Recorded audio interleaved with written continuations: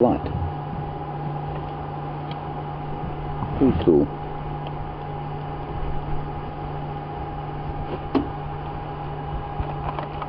Okay, we can go. We shouldn't go to Buffelshoek then, at least to watch, see if we can find the mating leopard. Yes, good idea. Shall we try? Uh, except Brent's probably already there. Brent, come in, Brent.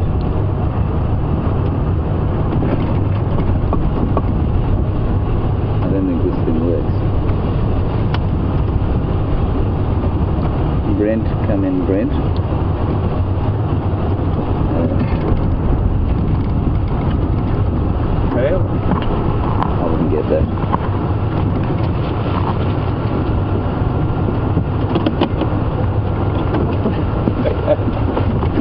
right, we're back. Andrew, as you uh, witnessed there, was just cleaning the lens. Uh, what a delightful sight that must have been for all of you. Um, our plan remains the same. We're going to head across to the Buffelshoek Dam, see what we can see there. Like I say, quite a warm day, and so maybe something's been drinking. Uh, Brent is unfortunately uh, flashing in and out of signal. He's on his way to Arathusa to see if he can't find follow up on where Shadow was apparently mating with Tingana. Now Tingana for those of you who haven't been watching regularly or perhaps new to us, uh, is a nine-year-old male leopard, and he has been mating with 18-year-old Karula, Shadow's mother, until about well, three or four days ago, and he's now moved on to the daughter. Uh, he's a busy man, of course, and possibly uh, getting a little bit exhausted. He certainly, by the time that Karula left him alone, uh, he was totally disinterested, and he certainly began in a totally disinterested fashion. So, luck. Will have two sets of cubs within the next three months. Now that would be very special indeed.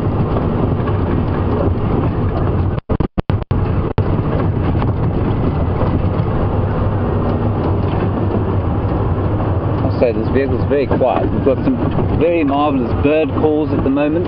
I can just hear calling off to the south there. That's not the south at all, it's the northwest, northeast. Uh, a red-chested cuckoo, and they are one of my favourite summer birds. They call along in the thick drainage lines, in the thick vegetation of the drainage lines, and they say, Piet my vrou, Piet my vrou. Lovely summer song. Not so lovely when you uh, understand their biology. They're uh, what we call a brood parasite, as are all cuckoos, of course. And I think they parasitize, if I'm not mistaken, the drongos. But I will check that up a little bit later. Now, what that means is that they lay their eggs. No, in fact, I think it's mainly robins. They lay their eggs in another bird's nest. And when either the adults will exclude the host's nests, or when the youngsters are born, they'll either exclude the host's nests or peck the youngsters, the host's chicks to death. Uh, so that's not a particularly their behaviour. Of course plays absolutely no part in the raising of the chicks. Now that is amazing. So nobody teaches a cuckoo, a young cuckoo, where to lay its eggs, what species of bird to lay its eggs with, or how to do it. It's a bit like migration, which is, a, is not a learned behavior in most birds, it's an entirely instinctual one. So that red-chested cuckoo is born. It's born into a nest of robins, say, is fed by a robin adult all it, until it's an adult. Then it migrates away. Nobody shows it where to go. It goes and lands in northern Africa or in Europe, depending on the cuckoo. And then it comes back here in the next season, and it knows somehow to lay its eggs in a in the host's nest. And the same process unfolds. It's quite astonishing. There are some buffalo. Let's go and have a quick look at them, make our way to Buffalo.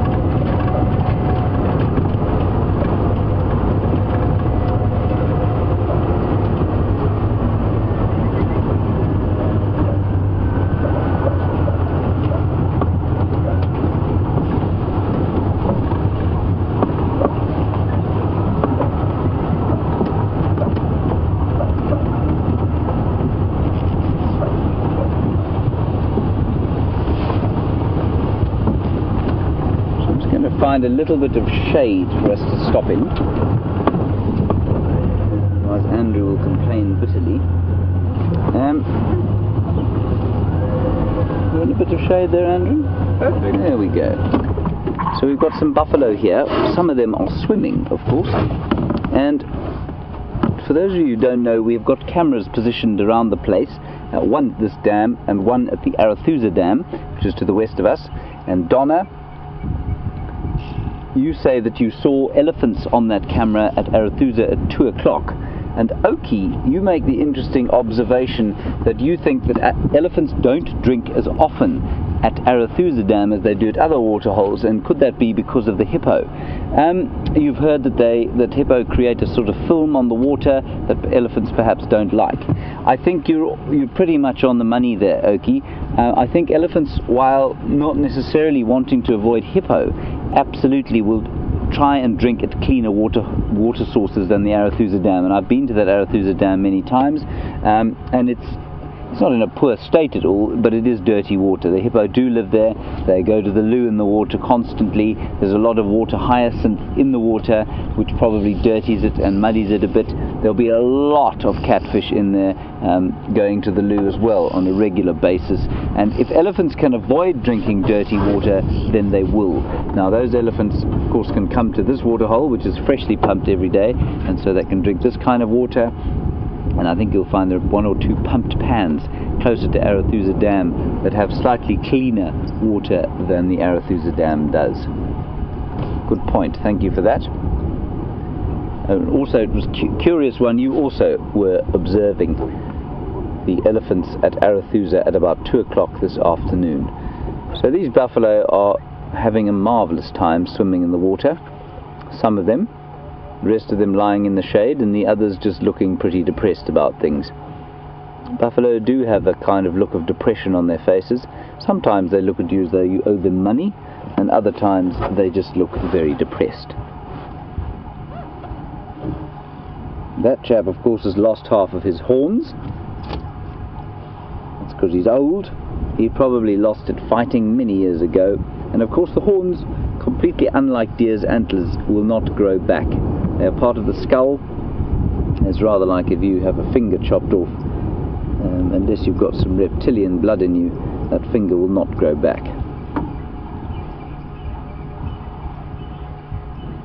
And as you can see, that one there has got a cataract, it looks like in his eye. Let me just retrieve my powerful binoculars. And there seem to be um, mountains of different equipment in my box there of mine. Yes, he does seem to have some kind of a cataract and he's probably blind in that left eye. Perhaps it may be milky like that because it was injured. Perhaps in a fight. Perhaps he ran through a thorn bush. It's unlikely it was done by a predator because predators would normally attack from behind. You do not want to get onto the business end of a buffalo bull if you happen to be a predator. Those horns, they're very, very strong and those horns will make short work of a, of a less than, say, considered attack from a lion. He's also lost his horn. These chaps are really very old fellows. And in case you haven't been watching for the last little while, about 14 buffalo have been killed around here between Simbambili, Arathusa, uh, Buffelshoek and Djuma. And D, you make the point that indeed buffalo seem to be hot on the menu at the moment. Yes, they do. And we think probably that is because they are moving very predictably. So they're moving in and out of water they have to drink. And because the water is now concentrated the herd movements are very predictable. And I think what is more indicative of that is that these old boys are not being taken out nearly as much as youngsters from the herd. And that means the herd is moving in a predictable fashion and that the lions are following the herd. So these chaps don't form part of a herd anymore. They're just a group of slightly miserable old bachelors sorry, that box that you saw there, which we don't need to look at again, uh, is part of the power for the Djuma camera, as far as I'm aware. And you can watch the Djuma camera at night. And that box will provide you with light. He's just standing in the sun, which is a strange thing to do on a day like today. The clouds are building, and they certainly, the, the day began with a lot of cloud in the sky, and it was the most glorious morning. We had those kind of big, um, dark grey clouds sort of building, and then they'd dissipate, and the light would come through, and then they'd come back over, and I just love those kinds of days. It gets warm, but it never gets too hot, and you can feel the air. The air starts to feel very close in anticipation of possible rain. All right, let us leave these beefs to themselves, and we'll head on to see what else we can find.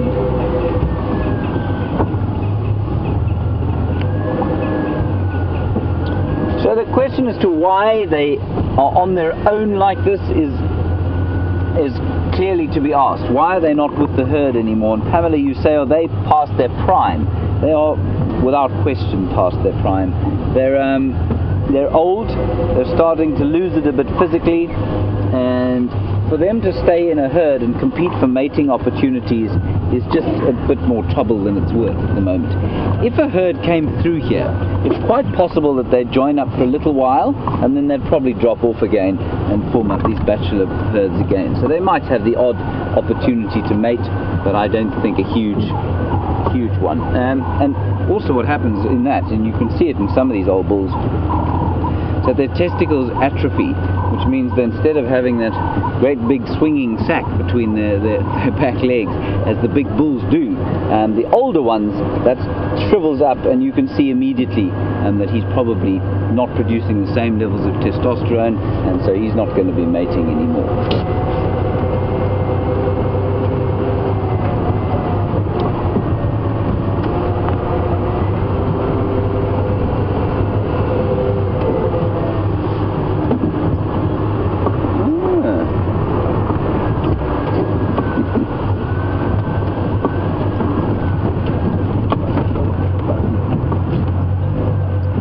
Of course, as the summer builds, so the migratory birds come up, and we'll just have a look at very non-migratory birds because they may well have a nest in here. Can you see the oxpeckers there? They do. They've got a nest.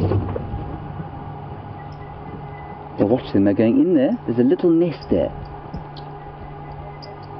That's wonderful. So those are red-billed oxpeckers. And they've got a little nest. Communal nesting birds.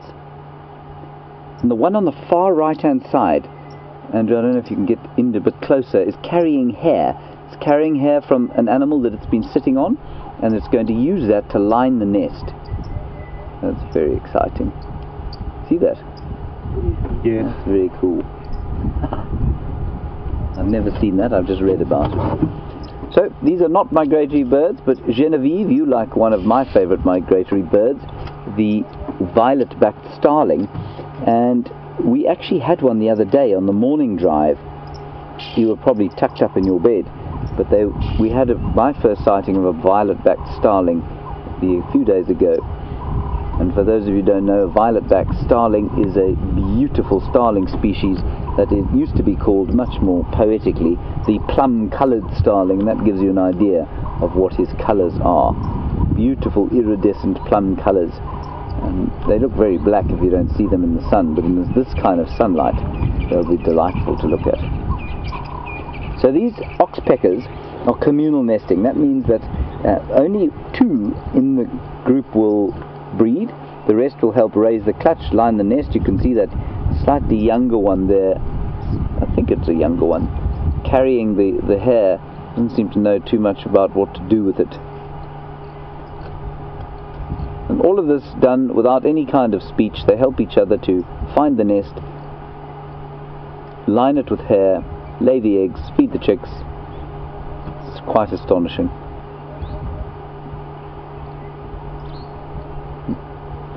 The other bird that I haven't seen this year is a yellow weaver, any of the yellow weavers that we have here, and I think it's because we haven't had much rain yet. Certainly in Johannesburg they're building furiously in the urban forest there, but why they're not building here yet, I haven't even seen one, I'm really not sure. I really enjoy them. And what determines the breeding pair is just simply age. And I think what you find with these oxpeckers is that, it, that it's the younger generation, possibly a year or two behind, that are the helpers, and eventually they'll go off and form their own flock, and some of them will breed, and I suppose some of them might never breed, but it's the oldest pair that will be the breeding pair. And they'll be mother and father probably to the rest of the flock. Nice. Right, well, we'll keep an eye on that nest. They're obviously just in the start of the breeding season, and they'll probably incubate for about 20 days or so, and then there'll be the gentle, strident calling from some little naked oxpecker chicks as they get fed and demand food. And hopefully they'll be safe in that tree. Right, very nice to see.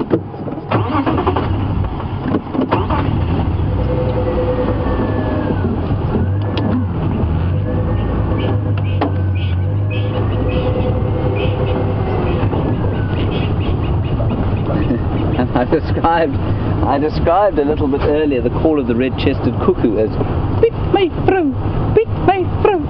Now, it's an Afrikaans sort of um, what do you call it? An on, onomatopoeic-ness. That's the best I can do, right? Piet my vrou, which means Peter, my wife.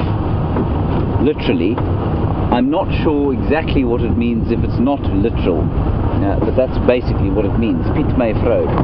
Piet probably has a verbal meaning other than just the proper noun Peter, but I'm not sure what it is. I'll try and find out. I should really know that, of course.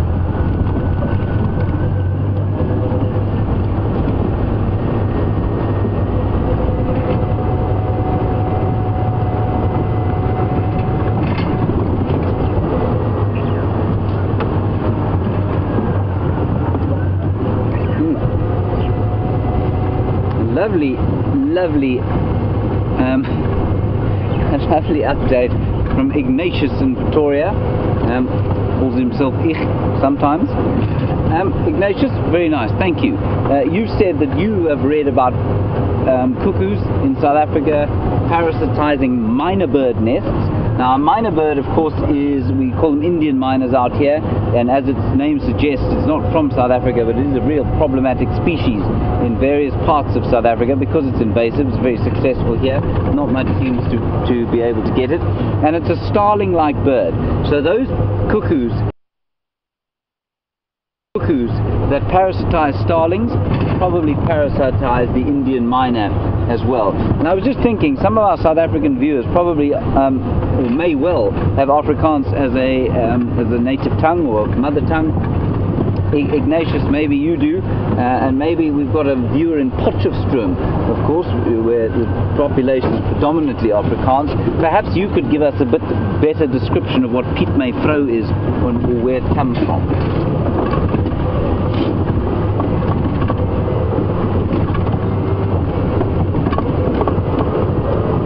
colourful little moth flying off there, but I'm not going to challenge That just up. So, so far so good on our new car. Very quiet engine, no signal breakups.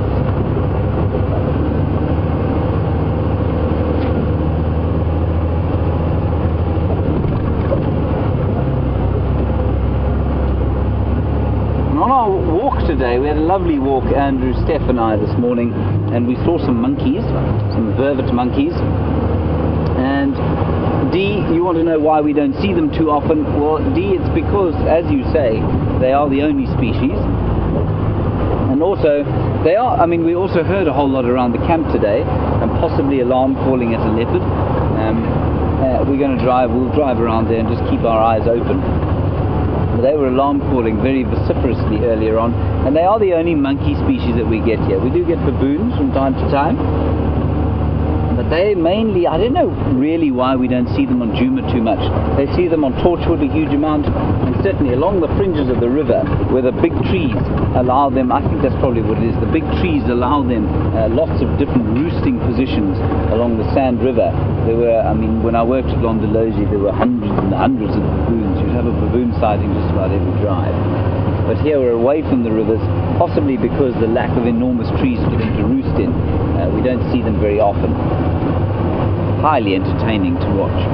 But the only monkey species we get here is the vervet monkey, and the only species, the only other species of monkey in the country is called a Samango monkey. We don't find them here. They generally live in very heavily forested areas, like those up near the Drakensberg Mountains there, or on the Natal coast in the sand forests there.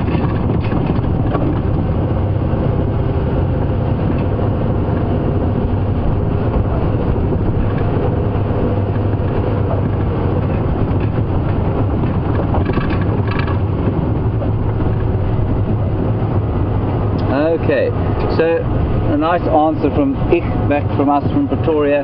You say Piet is also a way to describe a sound in Afrikaans. It make a lot more sense than Peter, my wife. So it's just an onomatopoeic way of saying of, of saying the bird's name. So Piet my vrou, no literal meaning. Thank you, Ich. You've cleared it up for me.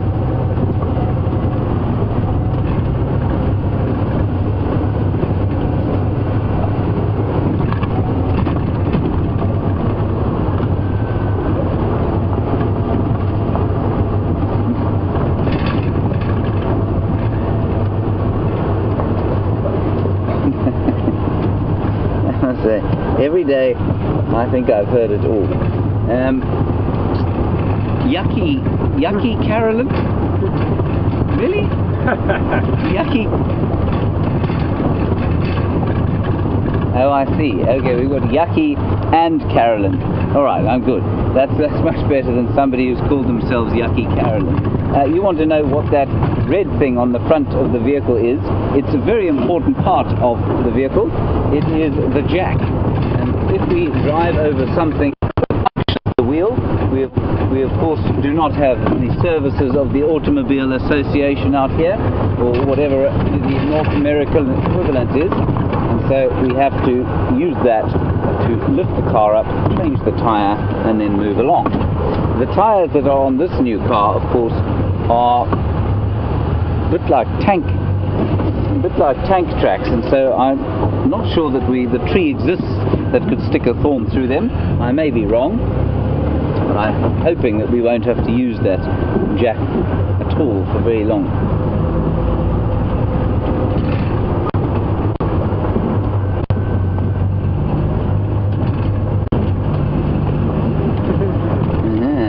Yes, and uh, a warning from Paul Rizzo, who says I better be careful with the, the WildEarth new vehicle, or Graham's new vehicle.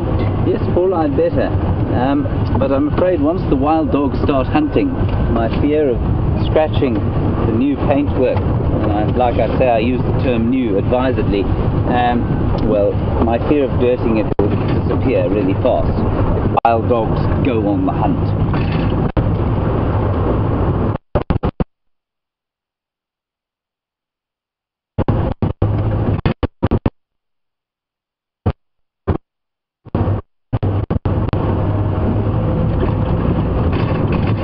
Elephant tracks.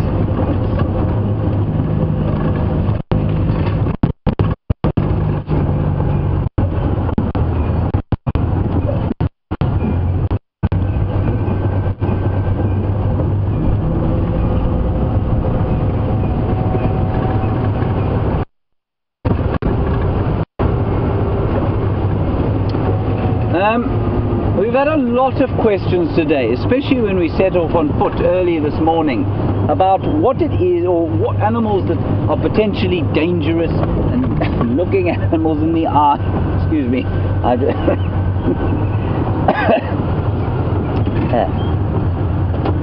Sorry, brief coughing. I'm okay.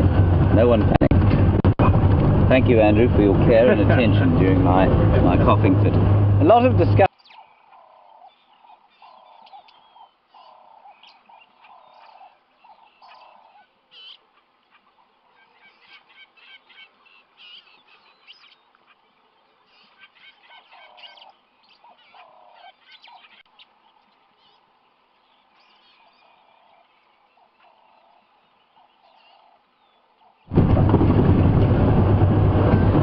Sorry about that. We are back online A couple of adjustments we had to make, and we went through a bit of a dodgy signal area, but here we are. So, straight back on to Ashley's question about the monkeys and whether if you look them in the eye, they are likely to attack you.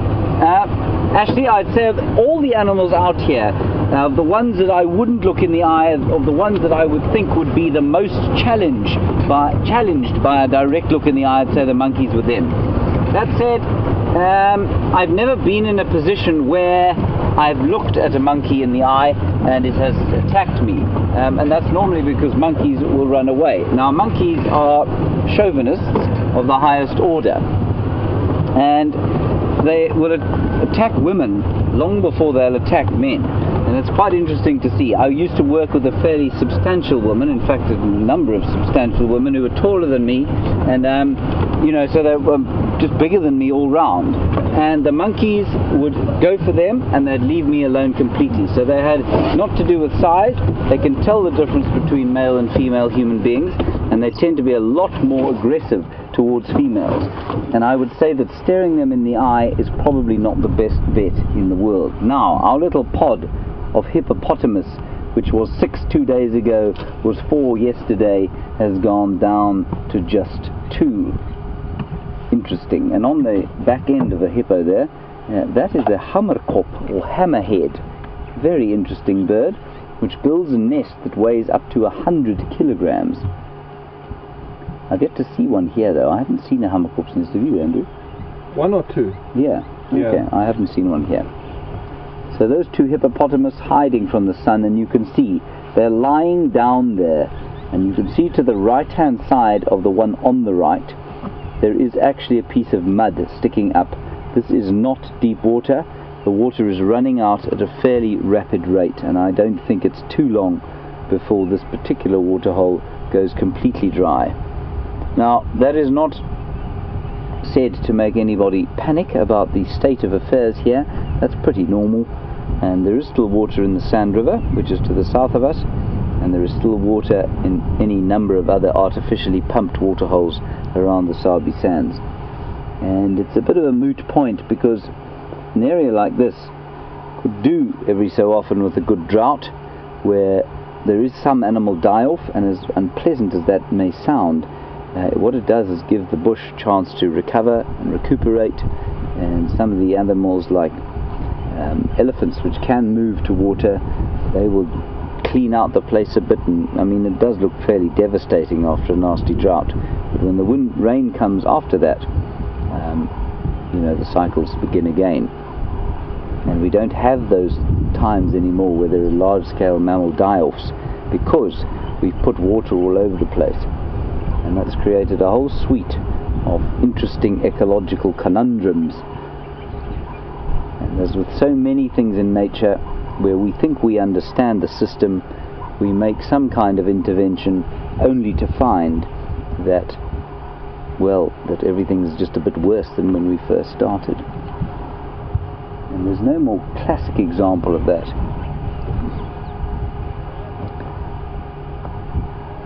Classic examples of that kind of thing going on than in the Kruger National Park, where, you know, over the 60s, science, so called, was used to justify the placing of water holes in various parts of the Kruger Park uh, in order to just, you know, make more animals come survive and make things good for them. What it did was to increase impala and zebra. It destroyed the population of roan and sable antelope, eland, and other, mm, probably hartebeest too, which can move to water but cannot survive under the competition from zebra and impala. It's a classic example of it there.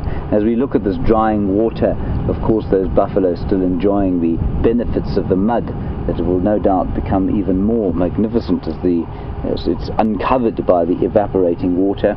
Do you want to know how many water holes we've had dry up here? D?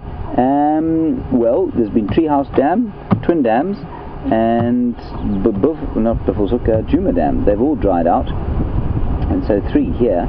I'm not sure how many on some of the other reserves. There you can see the mud, and you can perhaps see a little terrapin. Can you see the terrapin there, Andrew? No, sorry, you were on the dove. There's a terrapin in that kind of fairly disgusting looking slick bit there. You can see his head. There, that's in there. That's a terrapin, everyone. A serrated, hinged terrapin. Looking for little things to eat. Quite voracious carnivores are the serrated, hinged terrapins.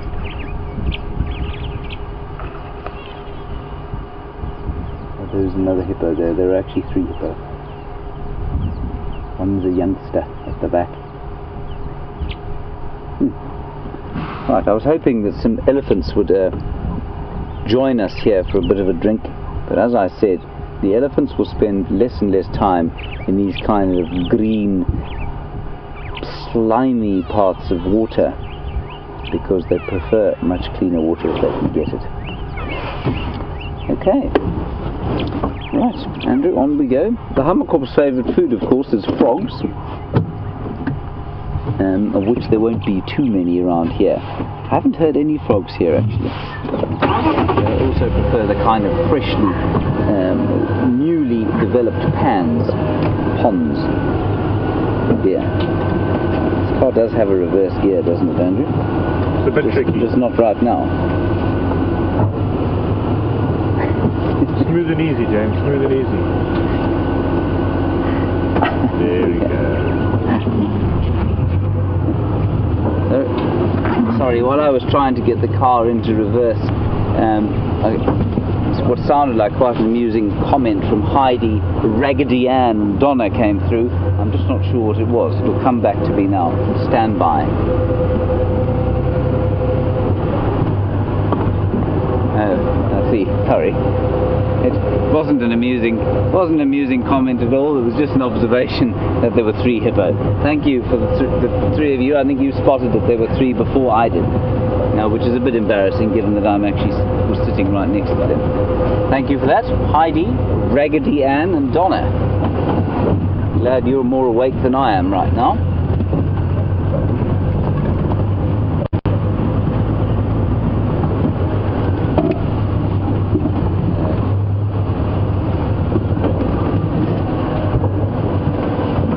There was a little white-browed scrub robin. You got him there? No. Alright, sorry, there was a white-browed scrub robin in there, very difficult to see. We don't often see them, but we hear them all the time, so when the chance comes to try and film one, I get rather excited and then put the cameraman on the spot, and, um, well, then I blame him, of course, for not finding it. Andrew, why didn't you find it? Sorry, James. And we of course have those dam cameras. There was one at Buffelshoek. One of our viewers told me. I didn't know that we had one before at Buffelshoek, um, but we did. We don't have one there anymore. We've got them at Arathusa, and in fact in many places around the world. With Arathusa and Djuma are the main ones in this area, and sorry, I'm just looking at the ground here for some tracks.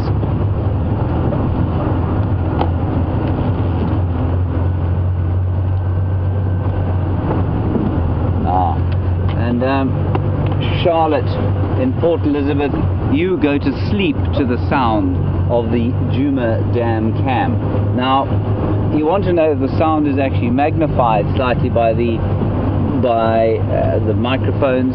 Oh, there's some zebra. Charlotte, I don't think it's magnified, but it is, of course, you're sitting right next to the only water in the place, so it will be louder. It will seem slightly louder than it does to us, but rather like rather like the fact can sleep next to a highway if that's where you sleep all the time, you stop noticing the noise. So we stop noticing the noise of the night out here, and so it's not too difficult to sleep in it, and it's the most wonderful thing to go to sleep to, and I'm sure that's exactly why you have it on at night to help you lull, lull yourself into a bushveld sleep. There are some zebra. Uh, that is probably an obvious statement to most of you. If you didn't know that this was a zebra, welcome to your first sighting. And this is a little kinship group grazing its way through the woodland. And the kinship group is the basic social structure or social fabric of a zebra. One stallion, big and strong, there to defend, and his wives, normally two or three mares and their associated offspring. And he will move at the front or the back of the herd, depending on where the threat is most likely to come from. I'll just roll gently back. This car actually rolls, the other two don't roll at all. They've got arthritis.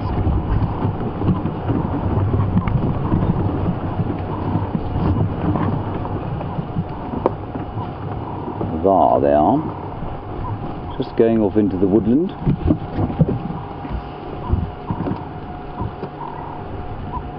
And disappearing.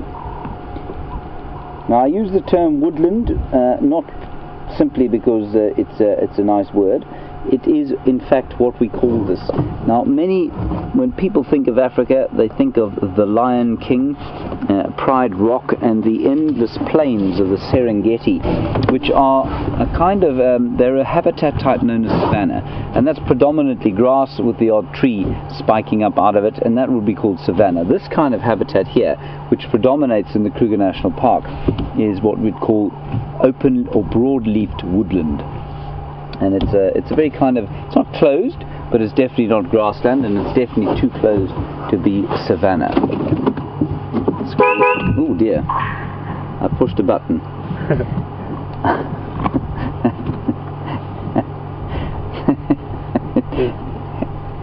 It might happen again. There we go we're okay. Sorry about that. New car new car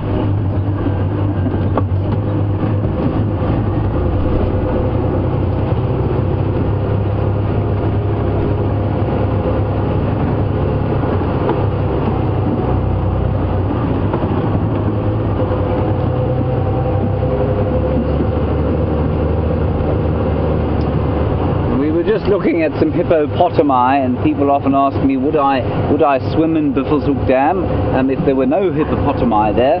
And the answer is no, because there could be a crocodile there. Uh, there isn't a crocodile there as far as I'm aware, but the students of Miss Cluddy's class in Michigan Lovely to have you with us. Very glad that you are talking to us. Not sure how old you are, so perhaps Miss Cluddy, you might like to send through a message as to how old your kids are. It's very good to have young enthusiasts of the wilderness with us on the vehicle. And you ask a very good question. You ask, would it... Sorry, I'm just being interrupted by a crested francolin there. I will get back to you about your crocodile and hippo question now. You see them, Andrew? Mm-hmm. Beautiful crested francolin. Most common francolin species that we get out here. I'm not sure why they're called crested to be brutally honest. I don't see, never noticed a crest on them. But you can see that, that really nice example of their camouflage with that brown sort of white mottled feathering beautiful birds. They're a bit like the impala of the bird world, you know, they get kind of, we hear them every morning and chase them off the road when we're driving at great speed to find wild dogs and leopards. But when you stop and actually look at them, especially in this kind of late afternoon sun, it's just very marvellous indeed.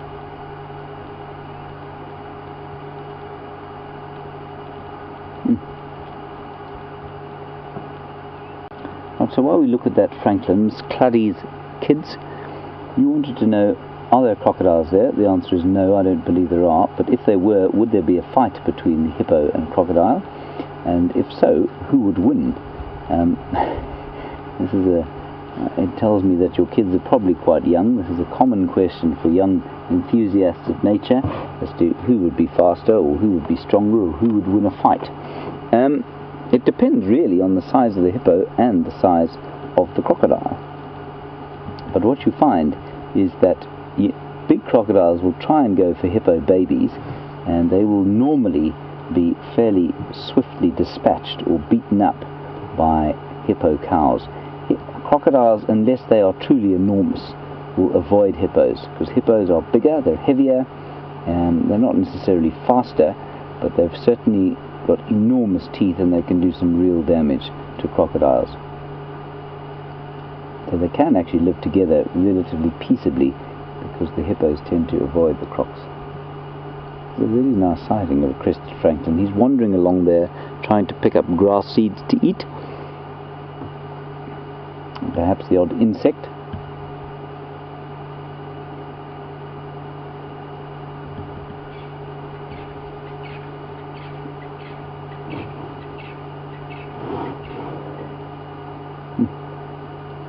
And they're often the first bird that you hear in the morning, and often the last diurnal bird that you hear before it gets dark.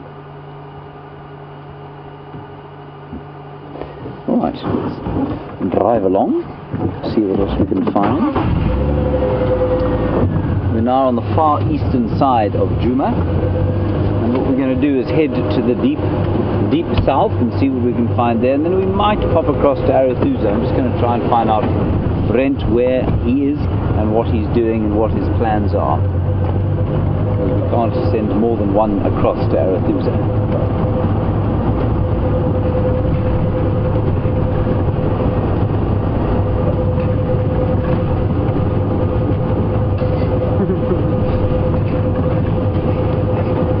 apparently we are alone out here. Um, this is because Brent and Wendy and is or Wendy is being fixed by Brent and Eugene. I suspect Brent is uh, providing lots of free advice to Eugene and probably becoming increasingly frustrated because he really loves, hates to be um, encumbered by a non-working vehicle. He loves to be out in the bush finding different things. I think therefore we will definitely head across to Arathusa and just see if we can't get an update on what happened with Tingana and Shadow and their uh, potential creation of a, a new generation of young leopards.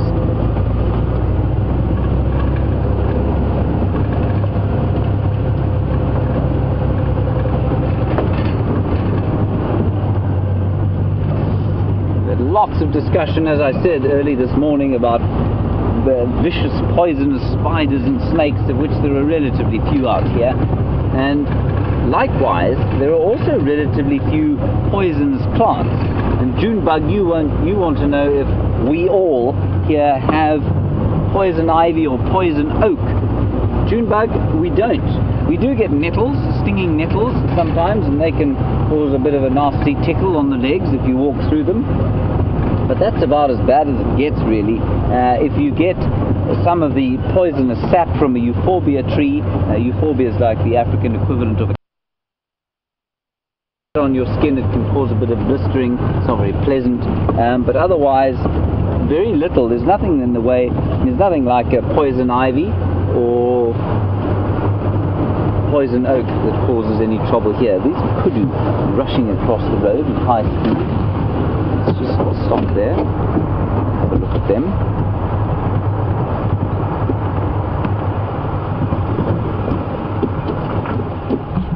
Deeply surprised looking kudu calf, not calf, cow. And I learned something really fascinating today from Stefan. They have what's termed a flicker response that is much slower than ours. So I didn't know what a flicker response was, or I didn't know, I knew what it was, but I didn't know that's what it was called. If you, obviously, you all know you've tried to hit a fly and it's been bugging you, and astonishingly, they always seem to manage to escape being hit. And that's because they have an incredibly fast flicker response. They can see things coming much more quickly than we can. Now, likewise, apparently kudu are pretty slow. All the tragelaphids, which are kudu, nyala, bushbuck in this area, and then also bongo and eland, um, they have a much slower flicker response. And you can tell that, and Andrew was agreed that when we drive up to kudu, often they kind of stand and they look at you for a while before they seem to realize that you've come, and then they move off. Now, why they should have that response, I'm not really sure. But they definitely, when you think about it and when you've seen them a lot, absolutely, they seem to respond a lot slower than you would expect, certainly slower than impala or zebra or other animals like that. Now, whether that has an effect on the number of them that get smacked by lions, I don't know. They don't seem to be a favored prey species for lions out here, interestingly. They get taken once every so often, but not, not in huge numbers. Not like the buffalo or the impala.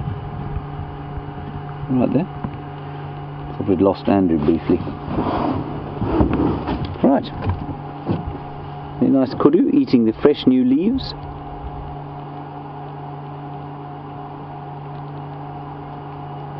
I think we'll leave them and press on.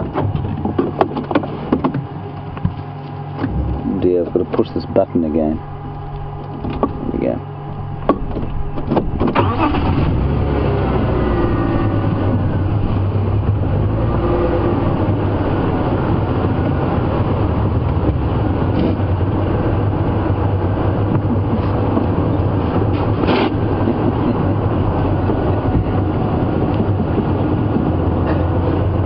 So, I'm sorry about the horn that was blasted earlier. Uh, Vicky and Afua, you say we need to get Oupa to disconnect it.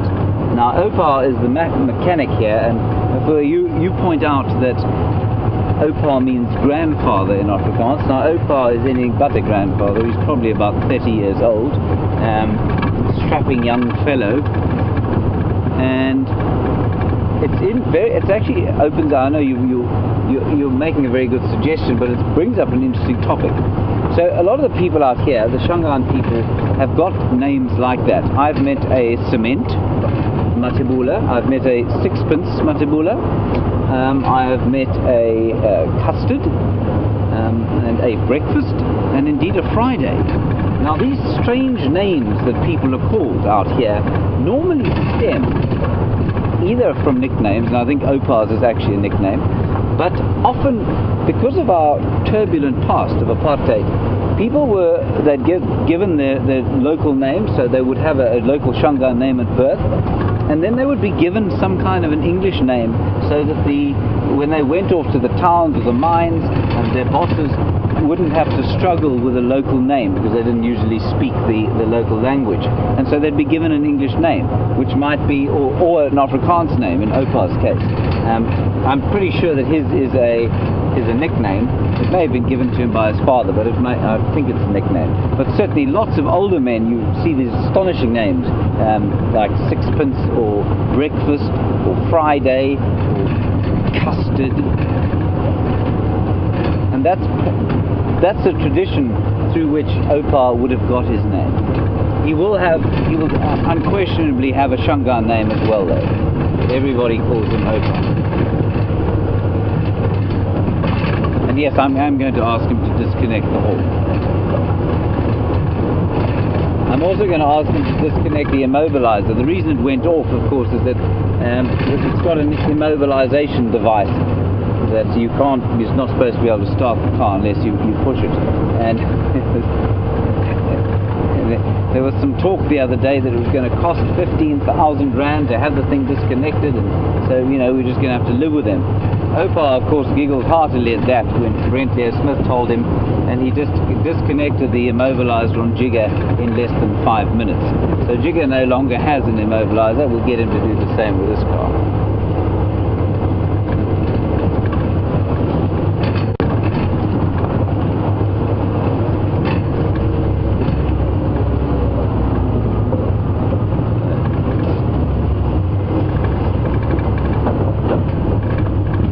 Caroline in Texas, I think it's Caroline. An interesting question.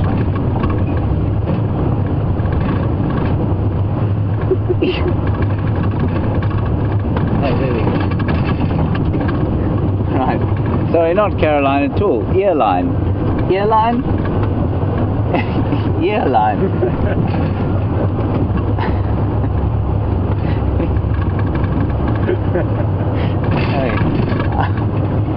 I will, I will gather my, I will gather myself. At this point, we should probably cross to Brent, but unfortunately, he's not live. So I'll, I'll try and gather myself. Earline. I'm not sure if that's the correct pronunciation. Please excuse my slight rudeness. I'm not trying to be rude. I'm just a, I've, I've not heard the name Earline before. What? Oh, uh, lead. okay, maybe it's called, uh, yeah, but that makes more sense. Anyway, E A R L I N E in Texas, Um, thank you for joining us. Please forgive us laughing at your name. Um, it's not fair of us. We just don't know how to pronounce it. So I'm very sorry about it. But you have a very interesting and valid question to ask and it is the following. Ticks and fleas in Texas cause a lot of animal deaths, and is that not the case out here? Surely it is. Not with the wild animals though. So, with the domestic stock that we have out um, in the communities here, they get dipped. The government comes in and dips them once a week. That's how often they need to be dipped against the parasites, ticks and fleas and other things that get onto the skin and cause disease. Now the wild animals have a much greater resistance to disease and so they're far less affected by it. That said, they are affected by it, but they have various methods of getting rid of ticks and fleas. Uh, one of those, of course, is the oxpeckers, and you've seen the oxpeckers sitting on the on the animals, eating away the ticks and birds, not the birds, eating away the ticks and fleas. And then also, animals spend a long time self-grooming themselves. You'll watch Impala, they've actually got a specialized tooth that uh, is called a tick tooth and it moves. It's, it's quite loose in the jaw and it allows them to scrape off different ticks. And if you watch Impala for any length of time, you can actually see them uh, scraping off the ticks. And then lots of animals like buffalo and rhino and warthog will go into the water and spray mud on themselves. Let that mud dry, and when the clay dries, it pulls the tick's mouth parts out of the skin, and then they rub it off on a rubbing post or a tree. So yes, it does cause a problem, but Erline, which I think is a much better way of pronouncing your name, um, they certainly do cause a problem, but not so much amongst the wild animals here. Here are some impala. Let's see if we can see them using their special grooming tooths.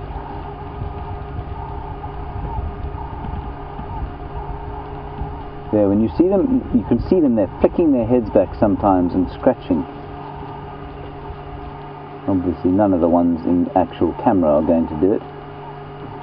There are a couple in the main herd who I've just seen doing it, and that's using that special tooth.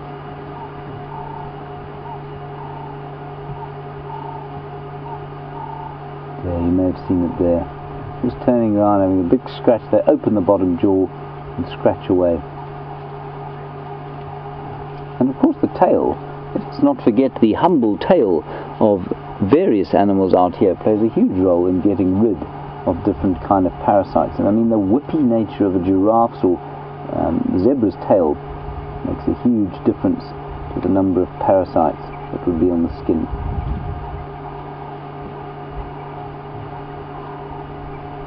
And there's a school of thought as we look at those impala, um, just on, along the lines there of the same topic. That kind of brown patch at the back end there of an impala is supposed is probably warmer than the rest of the impala because it obviously is it's darker and so it will radiate heat better and it will also absorb more heat than the lighter parts of the impala.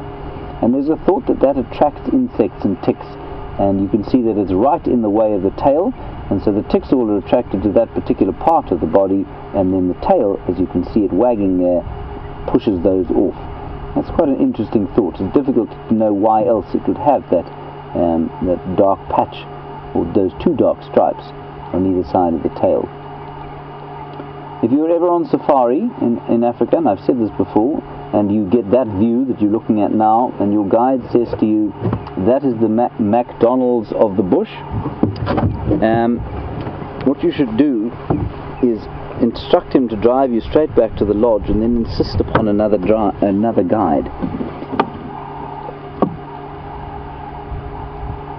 terrible joke that McDonald's of the bush I think it's been told in Africa possibly since the pyramid of Cheops was built.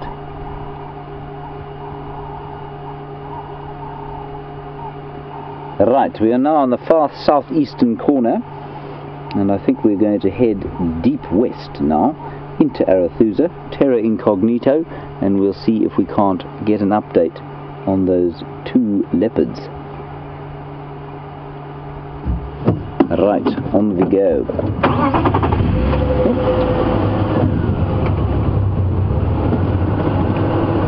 There we are.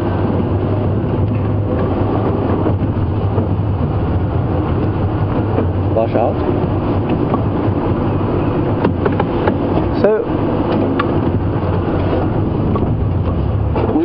The oxpeckers earlier in their nest, and we've had a bit of a discussion about their effect on mammals for the ticks. And Daniel in Ohio brilliantly has remembered that yesterday we saw an oxpecker, and it was really interesting. To pick the tick off an animal, and it was shaking it around, basically breaking the skin, and then sucking the blood out of the tick. And that is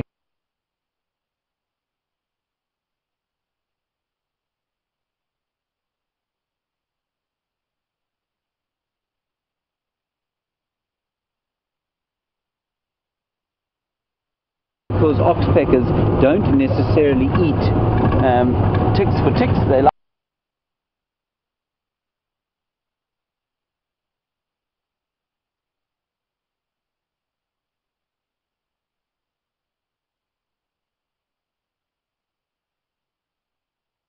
like the ticks because of the blood that the ticks suck out of animals.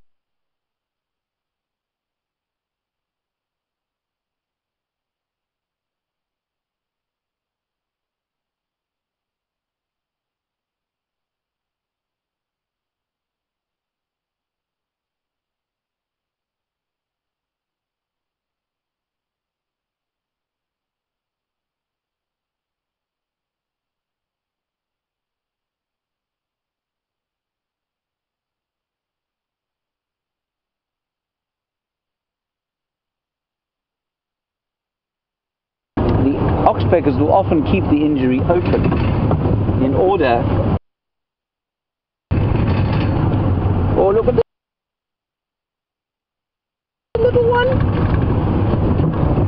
Tiny little baby there.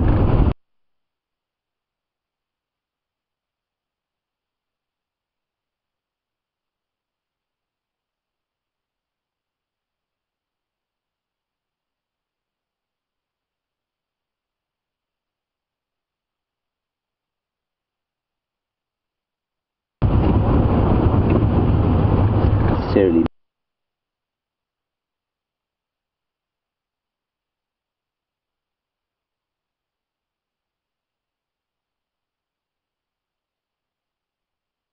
memory geniuses, and I'm not sure where the legend comes from. I don't think compared with some kind of a human memory is probably actually really good, and they certainly have to learn a huge amount.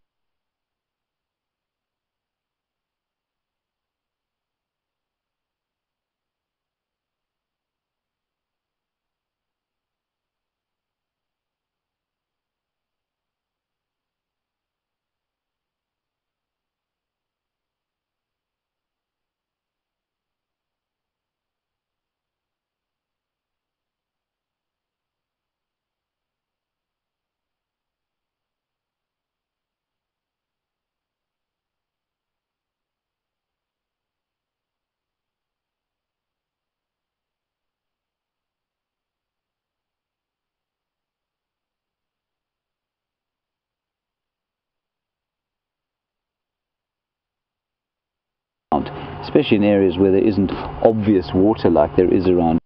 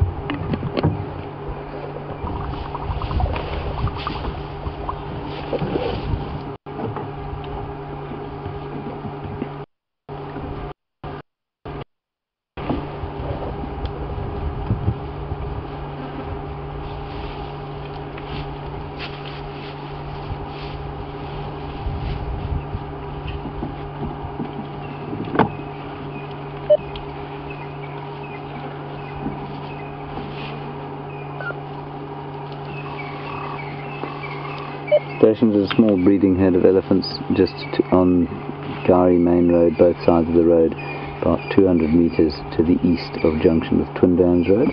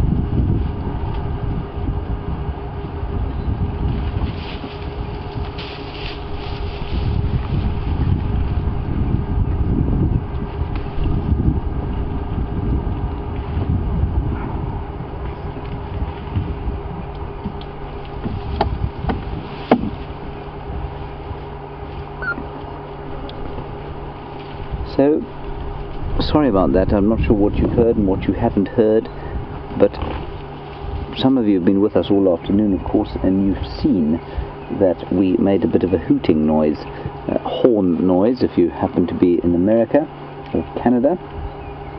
And Barbara, you want to know, probably slightly, mm, not facetiously, but cheek, would it make a difference if I started hooting the horn in this herd of elephants? It would make a big difference, Barbara. They wouldn't like that at all. I'll be fairly circumspect about starting the engine. There's a lovely little one in there, there's a little smaller one just ahead of it, and I'll just going to roll forward and see if we can't get a look.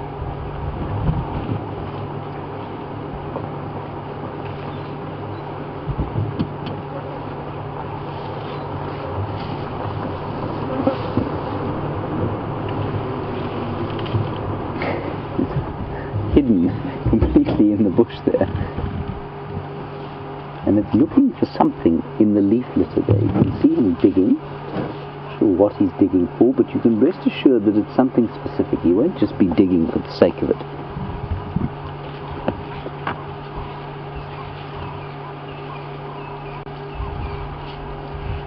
It's a really lovely herd of elephants, this, and I tell you, to be able to park in the middle of them like this is just spectacular. I mean, obviously we're aware on both sides of the road where they are and what they're doing, but but they don't seem to be affected by us at all. There's a little one coming out now. Very sweet. Very cross.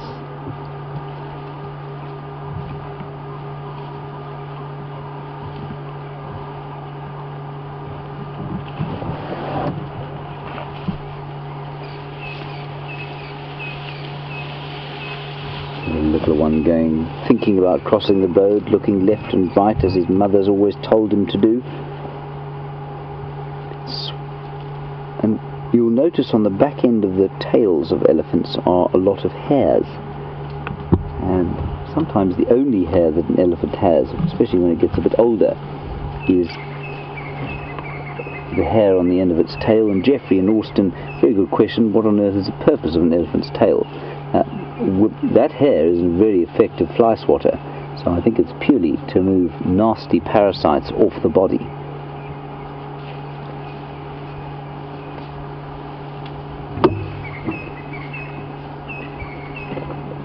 Sneak a little bit further. Ashley, country girl Ash, do elephants why are we just sneaking forward here?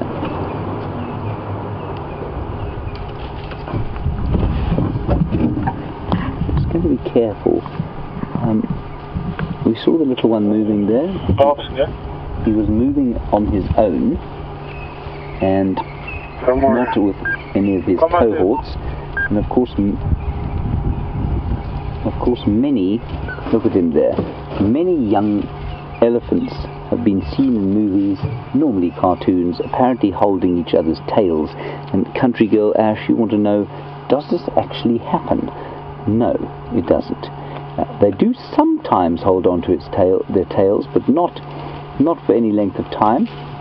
They do do. If you watch these two greeting now, they will sometimes put their trunks into each other's mouths, and they will.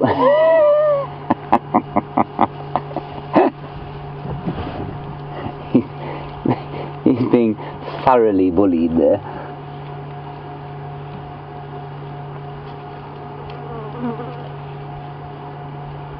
A little one, see, putting trunk in the mouth there to say hi and just coming to make sure that everyone's okay and nobody's being too nasty to anyone else. Isn't that fascinating? That really is amazing to me. They are so like human beings, it's incredible. So it's just like an older brother coming in, two youngsters having a bit of a fight with each other, the older one coming in saying, hang on, hang on, hang on, just calm down, everyone relax, we're all okay.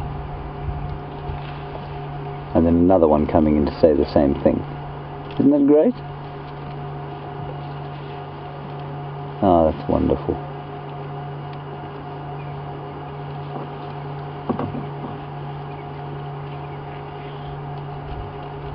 I'm actually sitting not very far from a much larger elephant, but we're not we're just going to keep an eye on these two youngsters. They're about 100 meters, well, 80 meters in front of us. Isn't that wonderful? In a proper old box.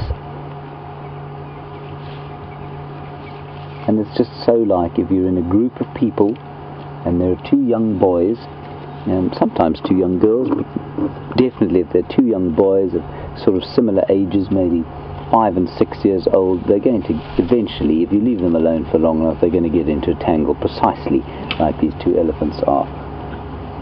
Very similar kind of a, situation.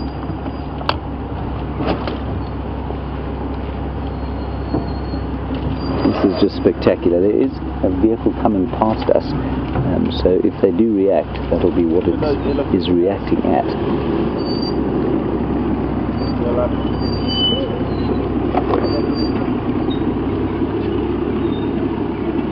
It does astonish me while we're watching these elephants.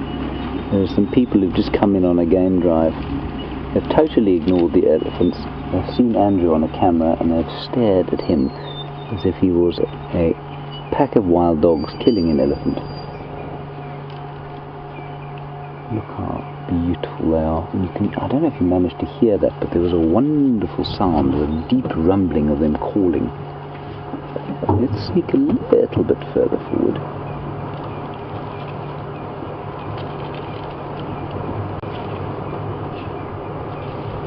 There's a very substantial elephant next to us here, and he's now, well, he's probably about hmm, eight meters away, not very far at all.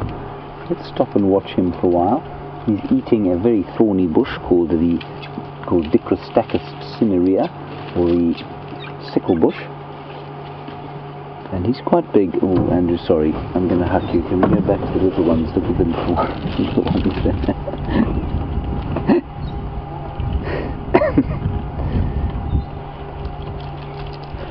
and a little cousin or sister helping out. Oh, that's so sweet.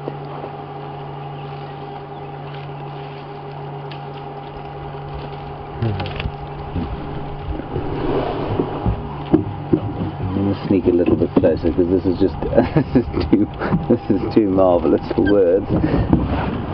Let's go a little bit closer. Just hope this big elephant next to us doesn't climb onto Andrew's lap. Andrew, if he climbs onto your lap, let me know. I'll stop. Yes, what a big boy.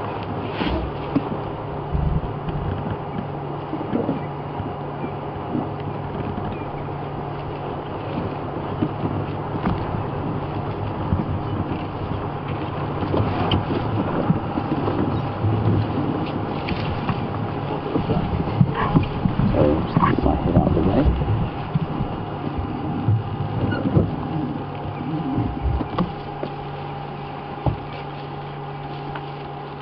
This is too special for words.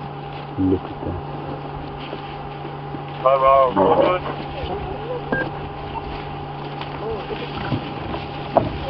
Something's given them a bit of a fright.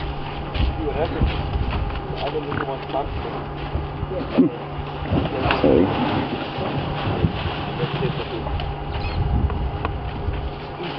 Not pretty sure, I don't really understand what happened there, to be honest. Something gave them a big fright. The little one now, he's in full attack mode. Giving him.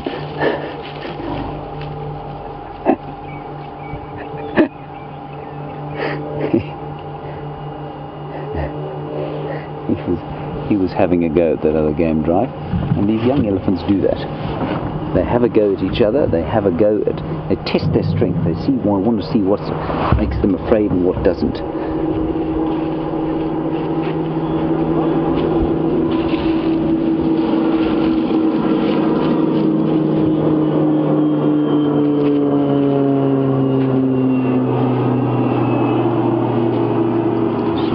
Aeroplane going to land just at one of the lodges down there.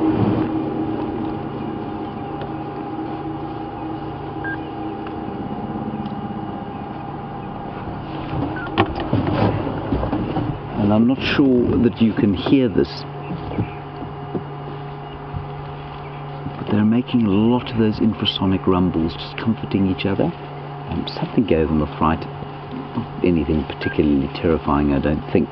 But they're making a lot of those infrasonic rumbles that we can't hear. We can just hear the top end of them.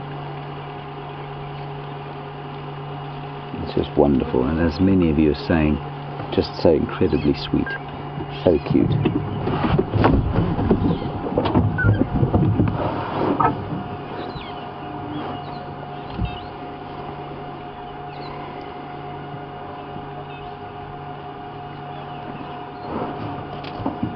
Watching them all. Well, first of all, they're talking to each other a huge amount. We were watching those little ones playing and then being just kind of shepherded and nurtured by the youngsters. Well, not the youngsters, but the sort of teenagers, slightly older. And as we look at that tiny little one there, Vicky, you make the point that elephants, you have never ceased to be amazed by the compassion and intelligence of ele- elephants. I have to agree with you, and especially in this last stint of mine being out here in the bush, I have been consistently astonished at the amazing sightings we've had. A and how oh look at this chap here on his knees. Such human things, and I think that's why we find them so emotionally engaging, and we can see an intelligence in them, which is just gives us an attachment to them that perhaps isn't as obvious in some of the other animals.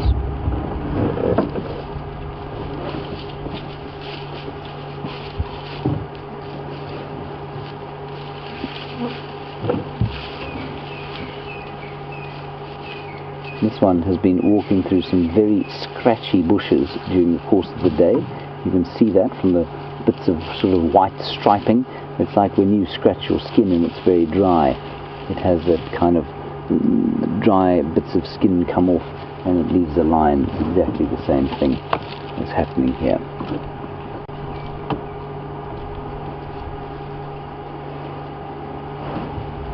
Just keeping an eye out all over the place. There, there's another five or six past behind us. Across the road, there are a whole lot more way up in the distance I can see coming across the road as well. So there's a huge amount of activity going on on the road here.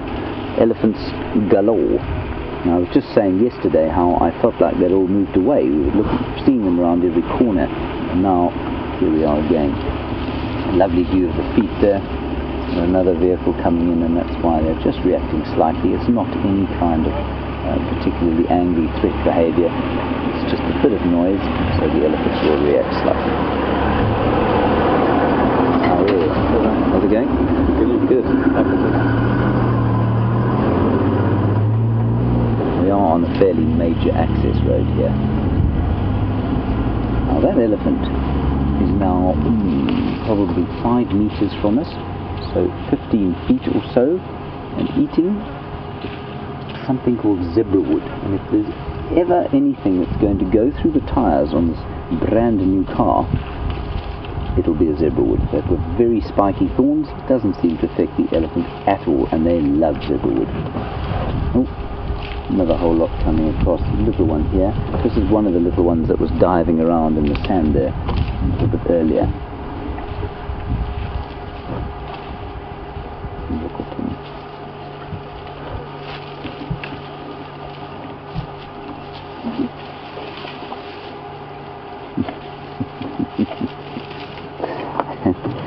I was making the point of how similar to human beings they are.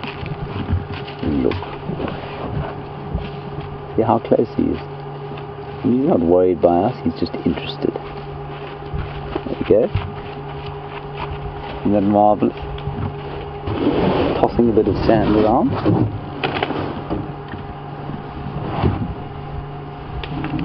And just along the lines of how human they are in so many respects. Curious one, you say that the littlest one is a bit like your younger brother, starts the trouble, and then you get blamed.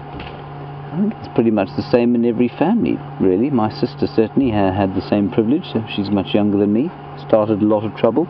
I took a lot of blame for it. She'd probably tell you the opposite. She'd be wrong. It's, he's back onto the zebra wood there, definitely selecting that. And that tree, of course, grows into a furniture or a planking tree. I mean, you can plank it. In the absence of elephants, it makes beautiful uh, zebra colored wood, black and white, gorgeous heartwood. But out here, not so much.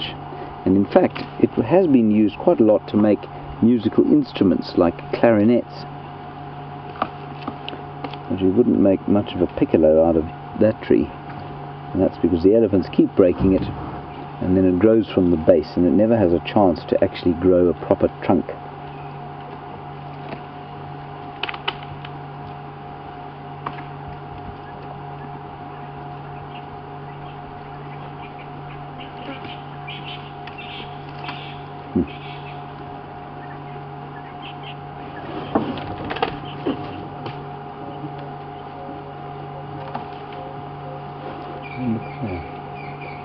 I'm just going to reverse. I'm just going to reverse slightly.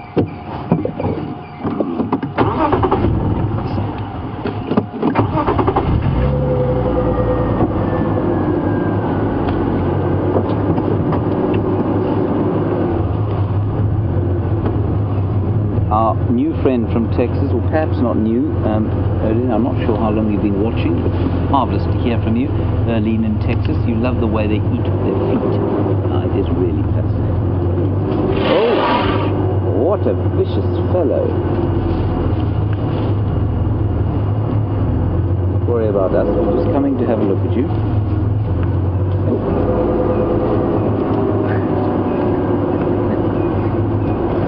Sorry, that wasn't very nice of me to move actually. Just go a little bit forward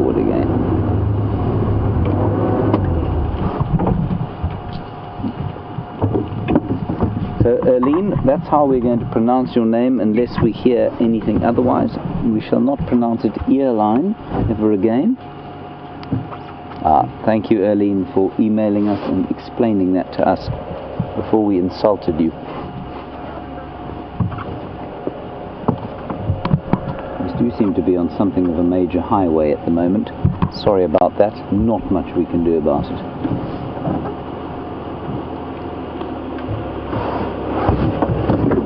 I'm just going forward out of Doug's way. There we go. How you? Yeah, you like them. They won't look like this for long. That was Doug just uh, admiring the, the new wheels. Yeah, we're back with this youngster eating his zebra wood.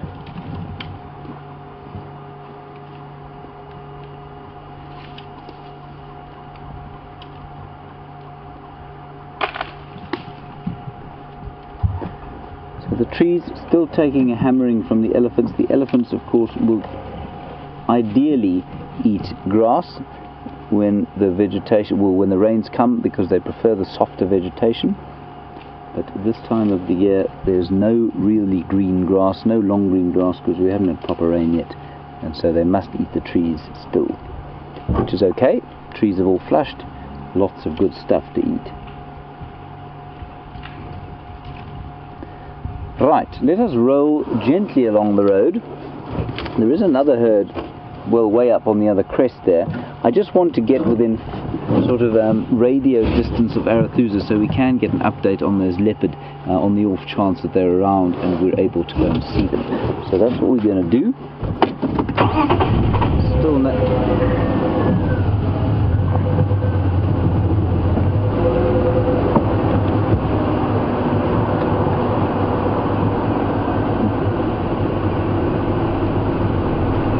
And we do see a lot on this road, you know, as Gerda is pointing out. Thank you, Gerda. Um, you're absolutely right. We do seem to see quite a lot on this road.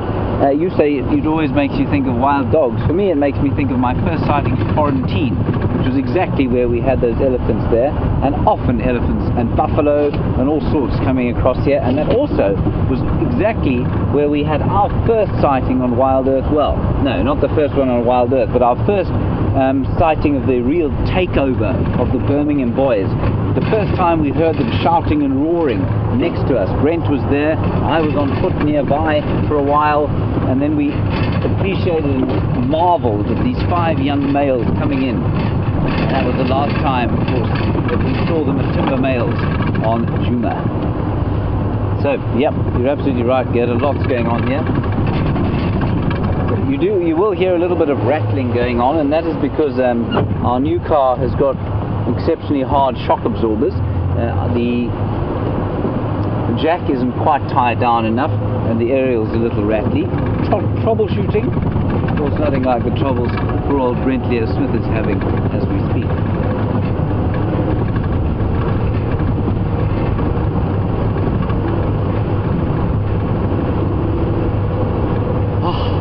You see the storm clouds building there, Andrew. Yes, wonderful. Marvelous. Do you think that they will deposit some rain on us today? Hopefully so. sir. Hopefully. Tell you what, have you got some duct tape? You do. Some gaffer tape. Everybody, I'm afraid I can take that rattling sound no longer. I'm just going to fix it quickly. Because we don't have Brent, you're going to have to watch me do it. Don't worry, I shan't take long.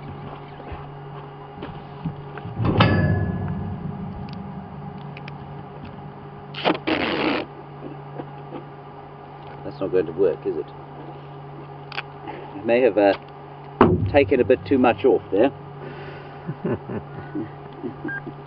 A little bit too eager. A little bit eager. There we go. That's going to make a big difference. The cuckoo calling in the background there. Not that. That wasn't a cuckoo, that was Andrew. Um, some kind of dread disease that he's now going to give to me. Um, the cuckoo that you can hear there is a black cuckoo going, I'm so sad. The black cuckoo. And just arrived back. I started hearing them a little about, well, about four days ago. Right. Door shuts on this car. It's remarkable. There you go. Ah. Soundless motion, Andrew. You see that? I fix my jack, now you fix your aerial. Not so much.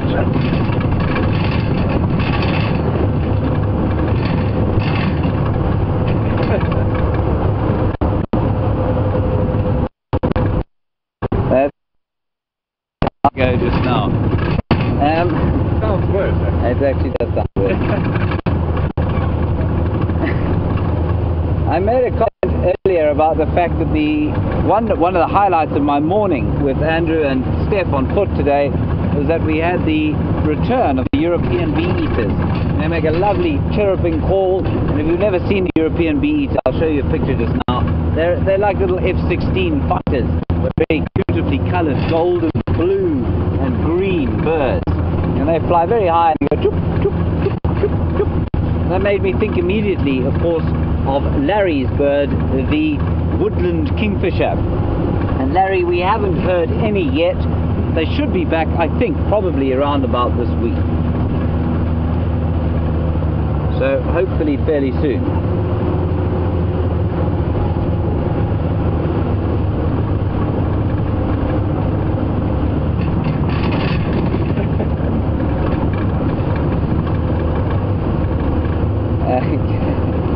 again,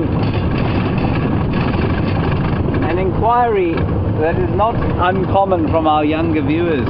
Uh, Cameron, aged just five years old, thank you again for your question. Has a bird ever pooped upon me?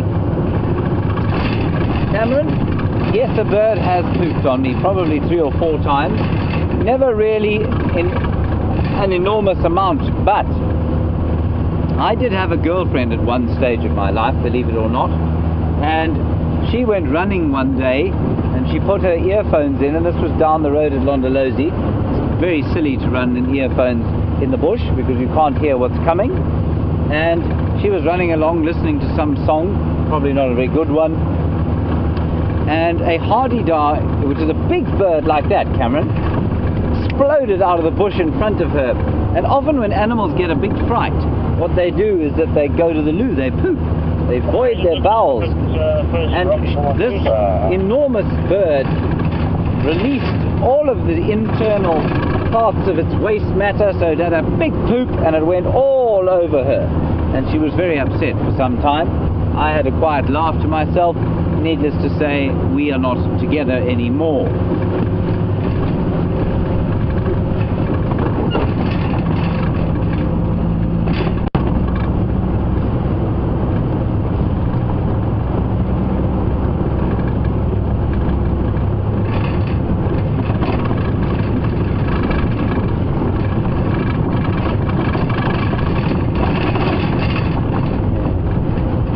Now, one of the skills that is the most difficult to master as a guide is the skill of driving and not actually looking where you're going. And then not driving into anything. The actual act of driving and looking backwards isn't hard. The act of driving, looking backwards, and not killing anybody is a lot harder. Now, Rudy in California, you want to know when I was driving in England, is this how I drove around? Really, they wouldn't let me near the wheel of any car that I went in. Um, I thought that was a bit rude, but uh, probably a good good judgment on their part. Uh, no, I try to keep my eyes front when I'm driving in uh, town or in any any faster than we're driving now. And of course, it's crucial that you're able to do this if you're a. On those big cars, you've got six people with you, sometimes eight. And it's very easy to just turn like that and talk to the person sitting over here, especially if she's, she's a pretty single girl. But she's not paying any more, of course, than the person sitting in the back seat over there. And despite that, the fact that that might be an angry man um, with ill intent, you still have to talk to him and look him in the eye while you're driving along. So the ability to be able to talk right to the back of the car, look to the front and not drive into anything is a very crucial part of being a guide. I, of course, thankfully have Andrew here, and if, if he goes pale, I know that I'm about to drive into something that might do us some harm. Just like he did there.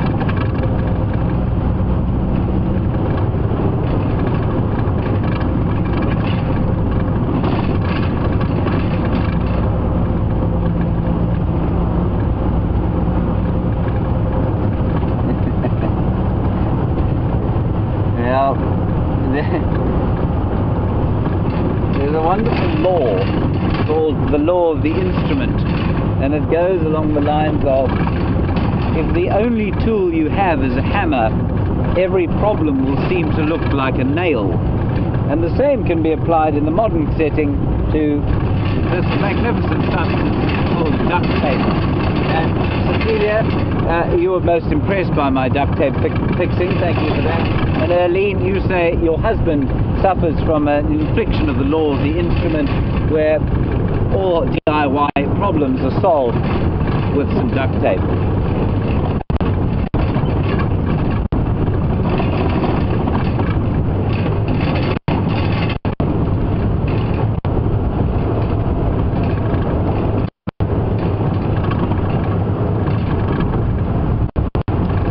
Getting close to now, and and it won't be very long before I will need to excuse myself to see if we can get hold of somebody on the radio. Uh, in this vehicle, it's going to be pretty hit and miss as to whether it actually transmits a signal or not. But while we're getting there, a very important distinction and a great question from Grant in Illinois. Thank you, Grant. You've got deer in Illinois, obviously, and you want to know is there any difference between them and the antelope that we get here? Huge difference. Um, a totally different sub-tribe. Um, so you get species, you get genus, you get family, and then you get tribe. Um, and the tribe of the antelope and deer is different, and the most obvious difference, I mean, they're not ecologically that different, they play a very similar role, and there are areas of South Africa where imported deer live very successfully, and certainly areas of the States where um, I know that there are farms in Texas that have enormous numbers of wildebeest on them, for example, so they can survive there. But the major difference, the most obvious difference, Oh, hang on, I've got Brent hailing me on the radio. I'm going to stop here and just quickly give you, finish what I was saying there, Grant. The most obvious difference, of course, is that a deer has antlers. They fall off every year, as far as I know, and come back at the end of, during the next breeding season. And an antelope has got horns that stay its whole life long. If it loses them, they don't grow back. I'm just going to quickly talk to Brent. We're at the junction of um, Arathusa. And Um, now we've got some radio go traffic. for that Tingana day. Oh, this is good news. Okay, copy. Whereabouts are they? Oh, you're getting the update we need. in Zell, I think Pump House. Uh-huh, good. Uh, Pump Red House, Dam Red Dam. Okay. Okay, Uh, let me call myself in there quickly before Andrew can do it. Ha ha ha ha. ha. Any station, Arathusa, do you copy? Yes, I Right. Oh, you're getting an answer. Marvelous. Um, can I have a vehicle lineup for the sighting of mating pair? Is a standby one available? Thank you very much. I would like to take that, please. Copy. You can speak to Jason and Darby. Uh, they in the lock there. Copy, thanks very much. Can you just give me the position? You come on Mafupunyan and Glela, just behind Red Dam in the Chukovandim. Uh, yeah, you'll you go past the pump house. It's a two track that can us north. Okay, copy that. So confirm best approach to come off Mafupunyan Road and I'll get, once I hit the drainage line, I will get a track going to there. Copy that. Okay. okay. Here we go. Go ahead. Um, I know Andrew is on the food standby, who's behind John. Stand by behind him. Copy that. No problem at all. Please just keep Alright. Didn't know that. So, two things for you to note. The first is that normally you wouldn't hear this radio at all, uh, but it's not feeding through the little system into my earpiece, so that I don't magically produce sightings for you without you knowing how I've done it. Um, the other is that we're on what we call second standby. So if you're a new viewer, it's important to understand that we don't like to have more than three vehicles in a sighting at a time, so that's very important. It doesn't pressurize the animals, it makes it a, a better experience for the guests that come out here, and they're, of course, a crucial part of keeping the wilderness alive here. So we're on second standby, that means we are the fifth vehicle, so we're just going to drive around, see a few more things, and wait for somebody else to move out of that area. I'm also just going to load my map so that I know understand where they are.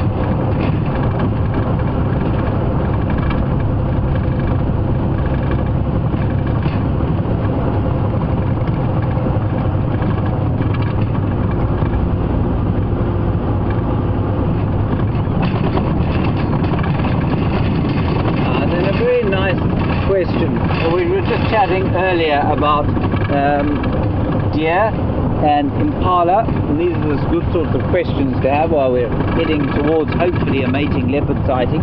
Um, country girl Ash, you say that deer lift their tails and show white when they're alarmed so that they can follow each other, and I'll do the antelope out here do it. Uh, the impala don't, but the nyala and the kudu especially do exactly the same thing. Sorry about this bouncing around. We will try and get off this road as soon as possible.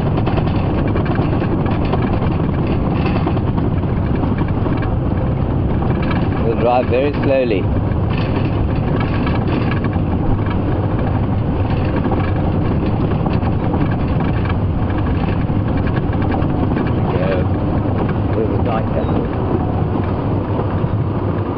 Antelope here duiker.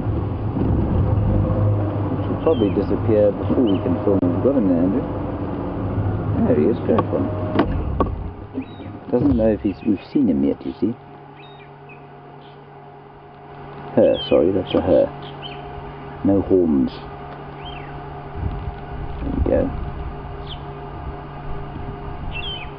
Beautiful colour, brilliant colour to be out here, and it does make me wonder why on earth there aren't more animals of that colour out here.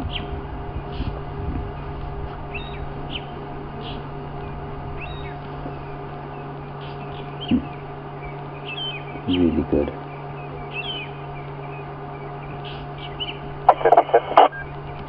Anyway. Very nice.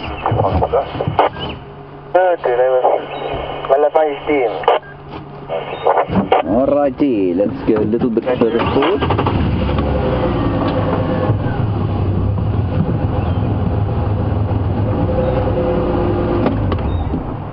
Okay, what I'm going to do, I'm going to give you a recap of where we're going. There's been a lot of noise on the vehicle, um, and I'm going to refix my problem here.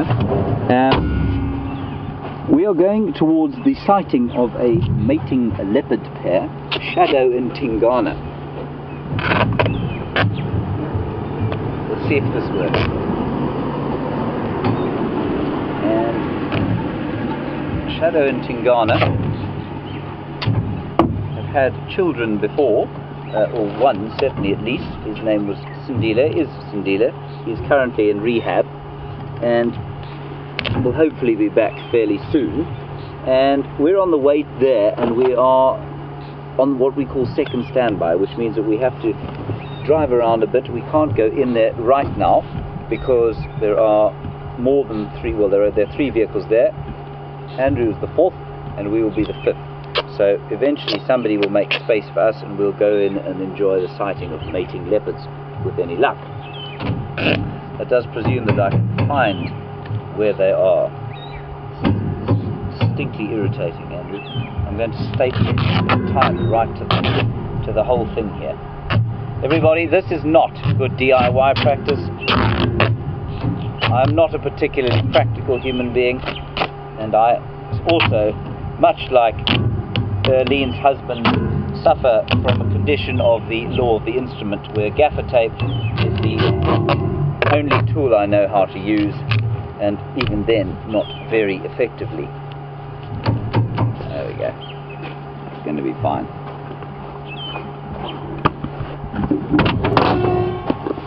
Right, on we go.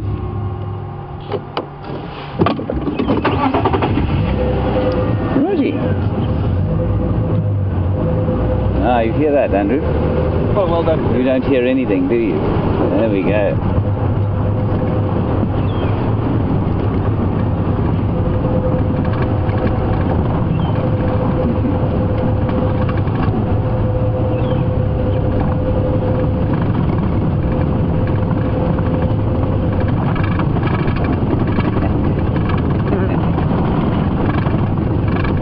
Two lovely suggestions coming through for what else we can do with the jack. Uh, the first one I like the best. No, the second one I like the best from Erlene. Thank you. Take it off the car, drop it on the road, and get Brent to come and fetch it, like he did my uh, my binoculars. That would certainly uh, at least give Brent something to do to earn his supper this evening. And then another one suggesting that we, Robin, that I take it off and put it in the car. It won't fit. Uh, this is not a large Land Rover, it's small. Um, and while Andrew is not the biggest of people, the amount of equipment that there is in the back of this Land Rover is quite astonishing. There was absolutely no way it would fit in the back there without creating some kind of enormous, uh, possibly electrical short. That was the aerial hitting a tree. Fear not. Okay. We drive very slowly through here. We don't want to bump into the sighting by mistake. Now this is very close. Well, not very close, but probably about 500 meters as the crow flies uh, from where Tingana was mating with Shadow's mother, Karula, about four days ago.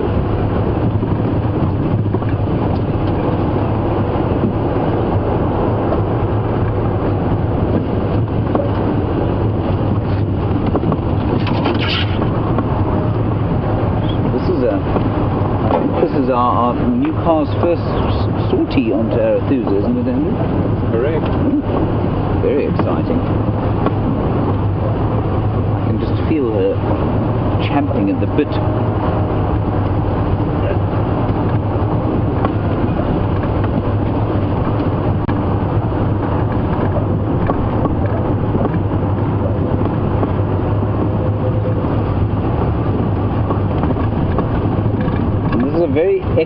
time to just maybe help you orientate yourselves a little bit as to where in the world we are.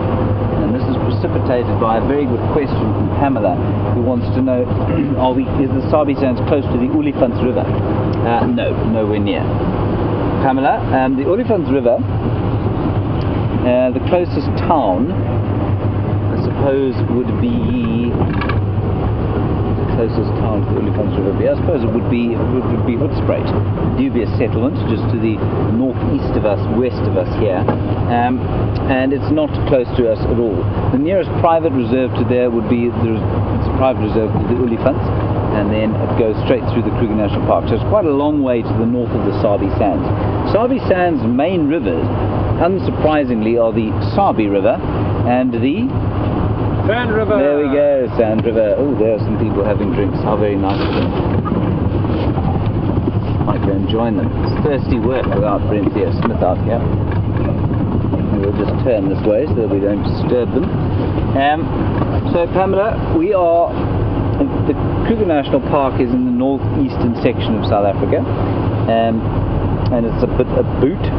So if you can imagine, I'm not going to do it with my hands. I might try and draw you a map just now. Um, in fact, yes, I haven't done that for a while. I'll, I'll tell you what. While we're waiting for this leopard sighting, let me draw you a map of where we are and how we are, and I'll show you the major rivers of the Kruger National Park. It's a really important part of where and how and what goes on in the Kruger Park.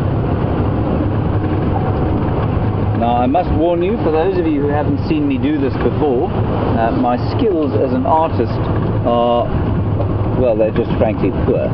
So, it might look totally ridiculous to you. Andrew, I'm going to do it over there. Can you get that little patch of dirt in? Yes. Right, marvellous, well done. Okay, everybody, I will draw your map. Come in. The leopards are waiting for you. Shout loudly, I will hear you and I will come back. Now.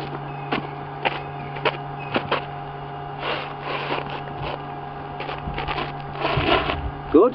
Yes. Work for you here? Yes.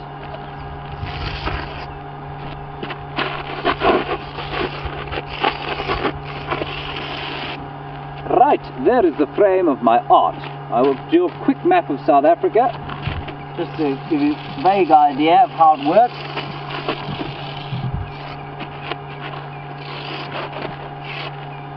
Um, I never know which way this thing goes. It goes like that.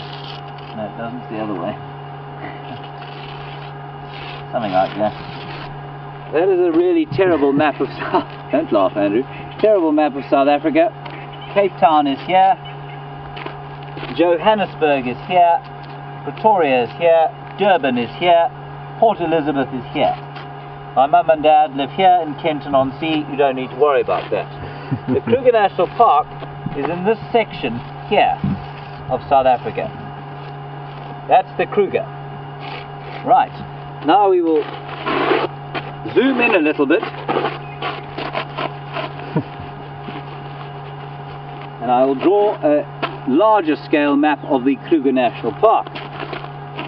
Kruger Park looks something like this. Can you still see that? Yes.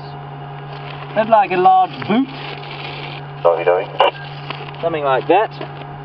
Uh, and we sit over here on a private reserve called the Sabi Sands. Well, pretty much in the boot there. There's a little reserve called the Manyeleti over here and the Timbavati over there.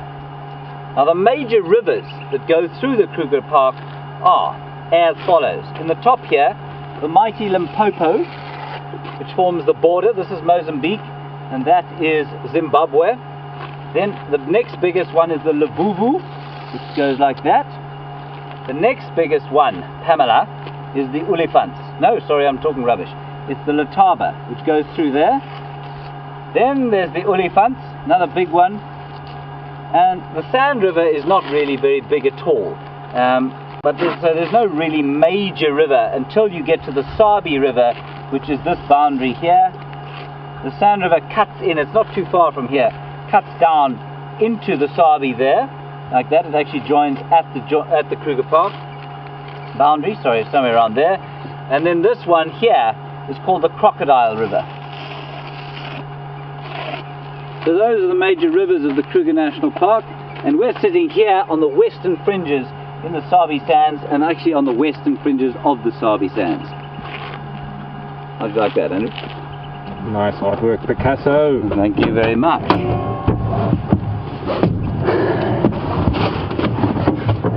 Andrew? I once had a um, What's your lock, Andrew? I once had a report from an art teacher at school which said um, his work lacks finish. And we had, he was referring to a, a clay, clay sort of project that we did. And um, I made a beer mug for my father, which I thought was very nice of me. Unfortunately, it didn't in fact hold liquid. And so it wasn't, I think lacking finish was quite a kind description of my beer mug.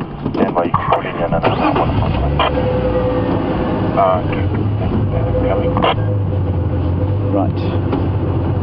Still no chance for us to get into the leopard sighting just yet. But fear not, be patient everyone, as I must.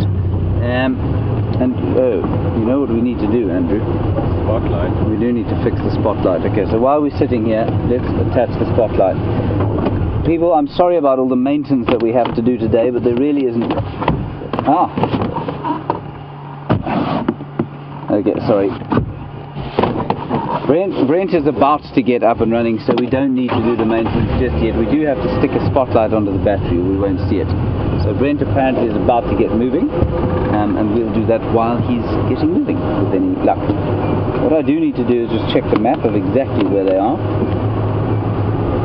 Marvellous things, these GPSs. Oh, for goodness sakes, here we go.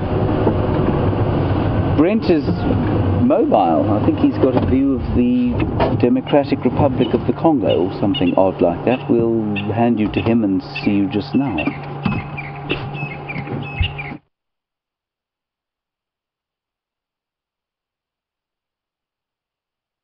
with you for a bit longer and Eugenius has managed to figure out uh, what was wrong.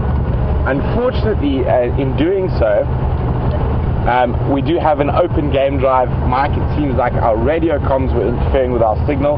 So we're going to be operating on an open radio and a handheld.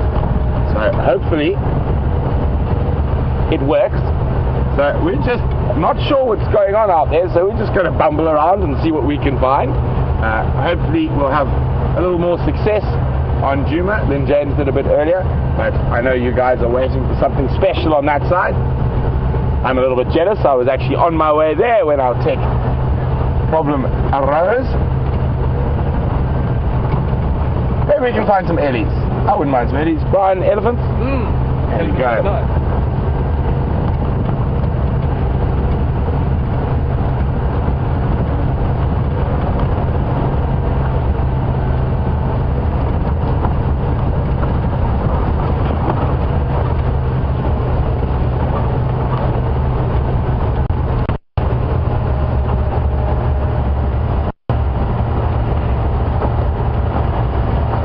So I heard that you had a fantastic Ellie sighting with James. And from that Ellie sighting, Hilda, who's from Antwerp in Belgium, the home of diamonds. Well, not the home of diamonds, but I think that's where the, all the diamonds go to be seen and sized and graded and whatnot. Uh, Hilda's wondering how many calves can an, a female I've. Oh, I'm a bit rusty on this, but if I remember correctly, it's five or six, and most most of the time those are raised to adulthood. So even though they might not have that many babies in their lifetime, they're very successful mothers. And you work it out. An elephant lives to 65, probably has their first baby around 15 or 16. We five. Yeah, probably about six would be my guess. I will double check that a little later in my large book should have some information on how many calves she has, but if my memory serves me correctly, it should be around five or six. Oh, and we have a pair. I'm talking about babies and making babies, and I know James is on standby for some baby makers. And we've got two who probably have already started the process of making babies in the tree and it is our resident pair of Wahlberg's eagles that live just below our camp and they're having a look at us.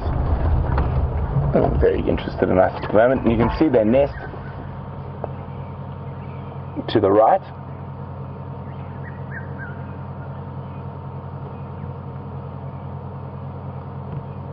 And I'm quite sure by now they've got eggs. And these two are really, really relaxed. They nests right next to the junction of two roads, and we drive past them so often. They are very, very relaxed around the vehicles. They don't fly off. Now, who can tell which is the male and which is the female? I'm joking. I can't tell either.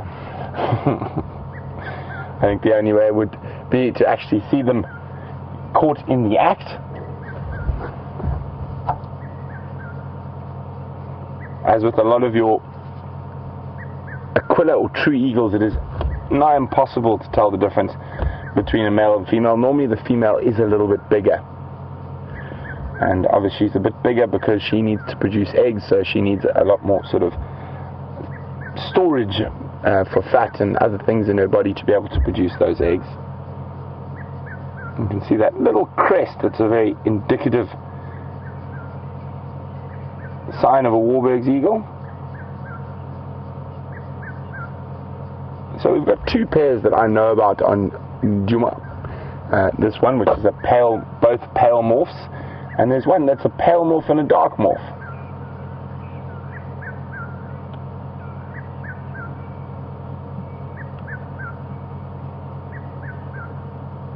But they're settling in for the night, so we're not going to disturb them any further.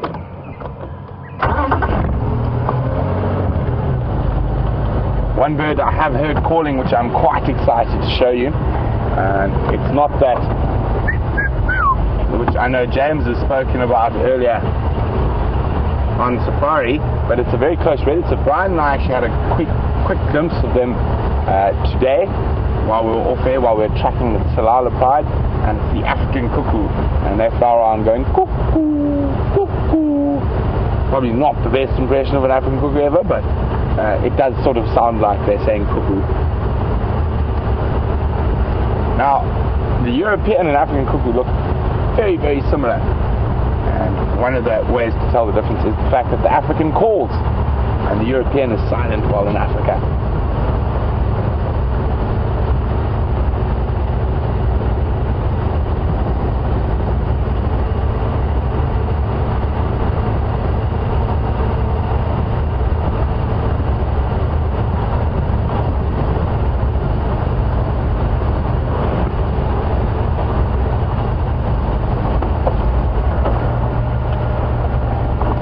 as I mentioned, open game drive comms, and Don is saying, is that what you guys have to listen to in your ear all the time? Well, we have to listen to them and to Final Control at the same time sometimes. But yes, it, it, it can be a bit uh, frustrating, and sometimes we do get that far look, way sort of uh, look on our face, and that's generally when the game drive comms can get quite confusing. Uh, when we're on Djuma, they're generally a bit quieter. There's less vehicles that drive on Djuma but in Arathusa, there are quite a lot of vehicles, so those game drive comms can be very, very complicated. But we keep it in our ear so you guys don't have to suffer through it.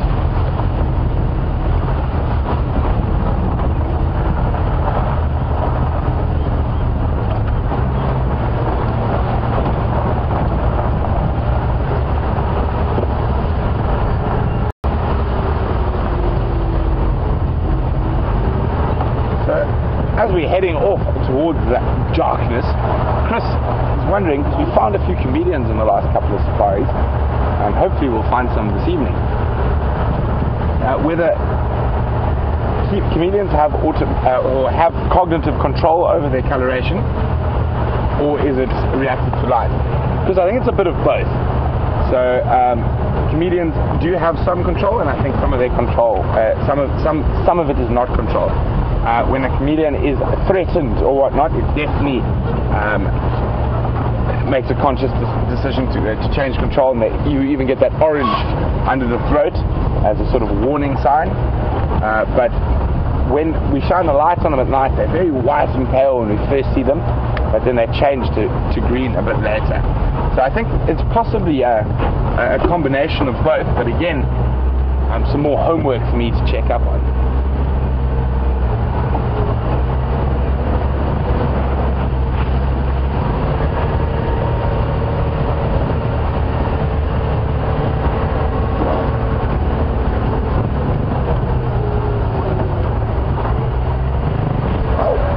And one of my most favorite small creatures are going to start making a proper appearance probably after a little bit more rain, and that's the different frog species we get here. And Pamela's wondering, do we have any tree frogs? Pamela, we've got quite a few different tree frogs, uh, and she says her brother lives in PR. I'm trying to work out where PR is. Pamela, let me know where PR is. I think. Any ideas, Brian? Puerto Rico, maybe? Maybe Puerto Rico would have nice tree frogs. And they say they've got caco or keko tree frogs that go bo peep, bo peep. Ah, yeah, yeah, yes, good guess, Puerto Rico. Um, so, uh, we do have quite a few. Our most common is called the grey tree frog, which is also the foam nest frog. And they do not have a very nice call. In fact, they just go burp, burp, little sort of grunt. Uh, and we do have quite a few other uh, types of tree frogs. A lot of the tree frogs, though, not so many in this area, but there are quite a lot of tree frogs in Africa. And uh, here we've got frogs that are quite similar to tree frogs, which are, are reed frogs and, and leaf folding frogs, but also have the little sticky suckers on their feet, and they climb up aquatic vegetation.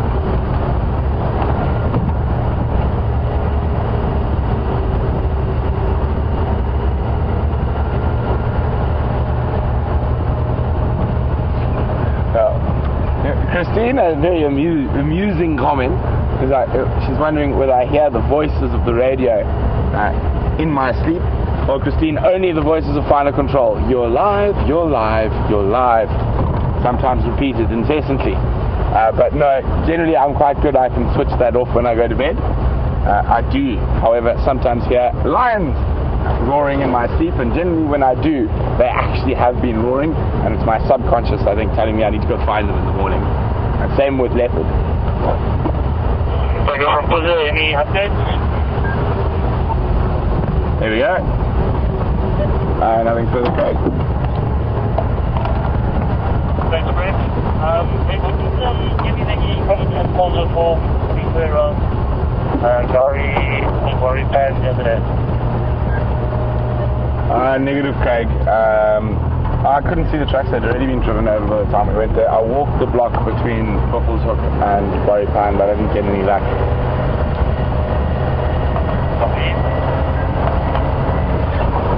Sorry about that. I'm back with you after my brief chat with Craigie boy.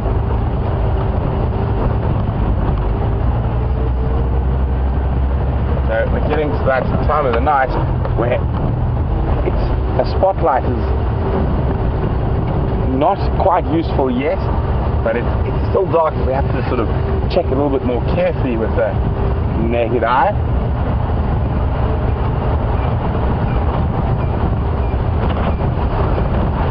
and I've had some of my most fond leopard memories on this road. Uh, it was just literally right here in the drainage line uh, where I walked on foot the first leopard when I arrived, tracked and found the first leopard when I arrived on uh, arrived at WildEarth, and it was it turned out to become very quickly my favorite leopard. It was uh, Kunyuma, it was one of Karula's sons, he is doing well into the west, or sorry, to the east and south of us, last I heard, and he actually killed um, a bushbuck down in this drainage line, and we found him on foot feeding on that, and he gave us quite a lot of wonderful sightings from there.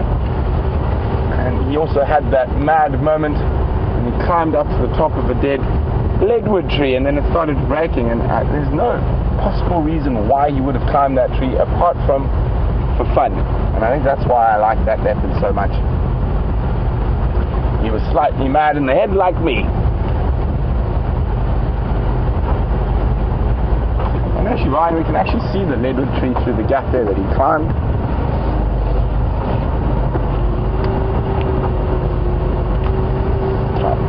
There.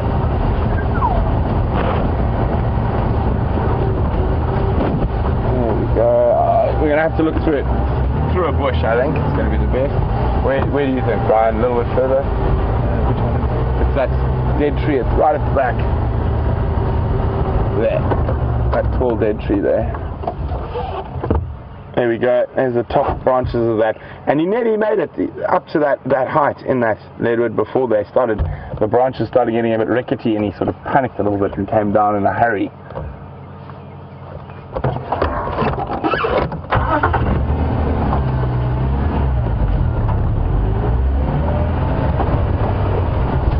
Mm, and I do love the smells at the moment. Definitely some wild jasmine flowering in the drainage line here, and we just this wonderful, sweet smell. Can you smell that, Brian? Oh, wonderful.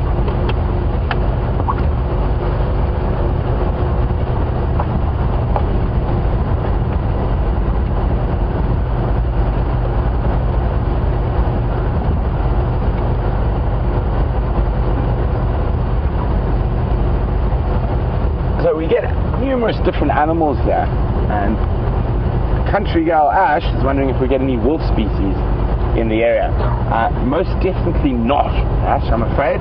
Uh, no wolves this far down in Africa. Uh, very interesting though, there was thought to be no true wolf species in Africa, although um, the Ethiopian wolf or Simien fox, which lives up high in sort of right up in North Africa in Ethiopia, is descended is probably descended from grey wolves, and there was a very strange species of golden jackal uh, found in Egypt, which now with later with genetic uh, testing turns out to be a remnant population of grey wolf. Grey wolf.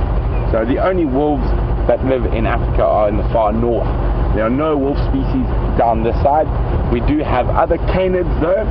Uh, canids are part of the dog family. We have uh, jackal, and we have two species of jackal in this part of the world. We have the black-backed jackal and the side-striped jackal. And then the other canid that occurs here, and it's my favorite animal, uh, it is the African wild dog or painted wolf, Lycaon pictus, which basically is the Latin name, which translated means uh, wolf painted, if we go the right way around.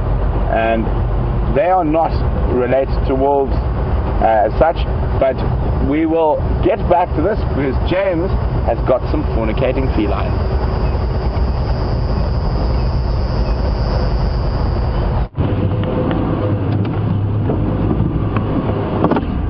Hello everybody, we are here with Shadow and Tingana who are, well, they're not doing much really. They're just sleeping there in a probably post-coital bliss, but apparently they haven't been mating much today at all. So perhaps, much like when we saw Karula and Tingana when she came into Estrus, perhaps they're just not into the full swing of things. And for those of you who've never watched leopard mating before or any kind of cat mating before, it is really astonishing. They will probably mate when things get really going. Uh, they will mate up to mm, probably 10 times an hour at the real height of the mating. At the moment, these two beautiful cats are just sleeping quietly in a very thick area. Only space for two vehicles, that's why it took us a little bit longer to get in here than I'd hoped. Uh, but now we are here, we'll spend a bit of time with them and just enjoy what I think is Africa's most beautiful cat. That's the male there. That's Tingana, a nine-year-old male, and Shadow, a nine-year-old female. And she's up and about. Now, I don't mean that she's kind of uh, running around the place, but she won't sleep as soundly as him. If she's coming into estrus, she will be highly charged, and you'll find that she'll be feeling probably uncomfortable. Now, the really interesting thing for me about this is that Shadow was in estrus some time back, probably about two months ago. She had an extensive mating um, incident or affair with uh, this male, Tingana, and also the Anderson male from further west of here. And if she's now, oh, look at that big chap. If she's now in estrus again, chances are, well, definitely, that she definitely didn't um, fall pregnant last time round from either of those two males.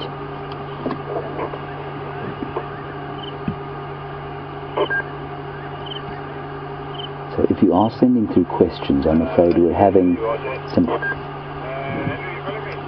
we are having some difficulty with the radios. So if you are sending through questions, uh, we will try and get them to you. Try and answer them as quickly as possible, but we are in a very thick area, and that does make communications a little difficult.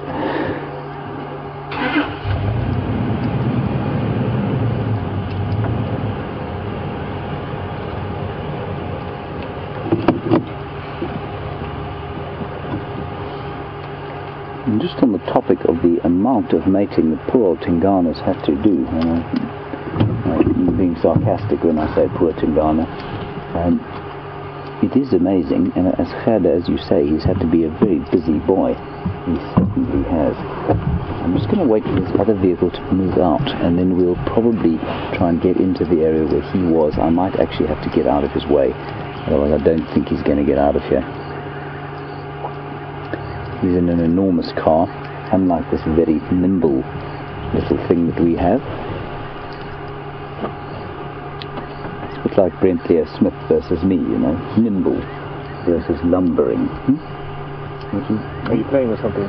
Oh, yes, I was playing with a piece of plastic. It's very, very noisy. Sorry about that, Andrew. God, difficult to please. He's been very obstreperous today.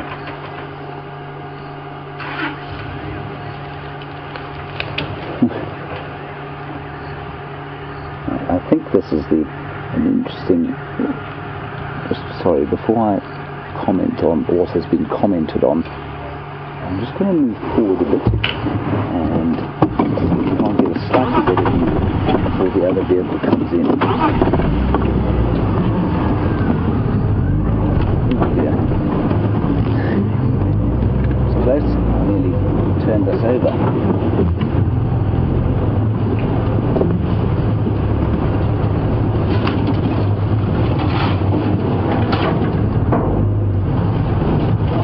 Oh, that's marvelous. How's that, Andrew? That's good. Say when. A little bit more? Um, I think a little bit back. A little bit back. So, A little bit more. Okay, stop.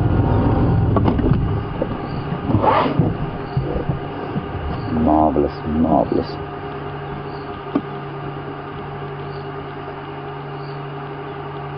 So I think what I heard was Janet, you were saying that, or asking, do I think he knows the difference between the two females? Yes, I definitely think he knows the difference between them. Um, they are mother and daughter, and so they're they probably seem quite similar to him. But I'm sure he knows the difference.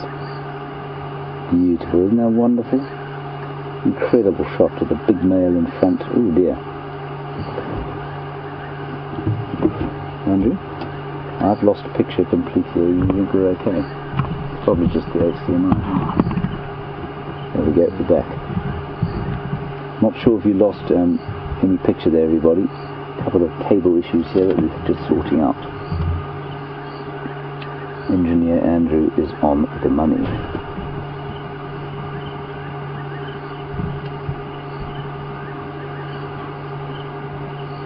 And as I was saying, you can just see that she is far, far more aware and awake than he is.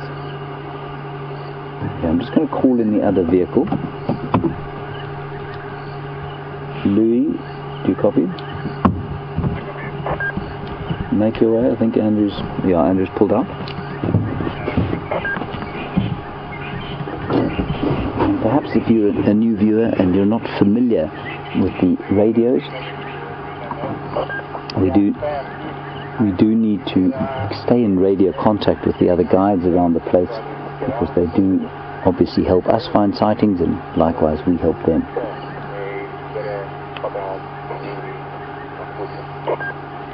Ooh, Here we go.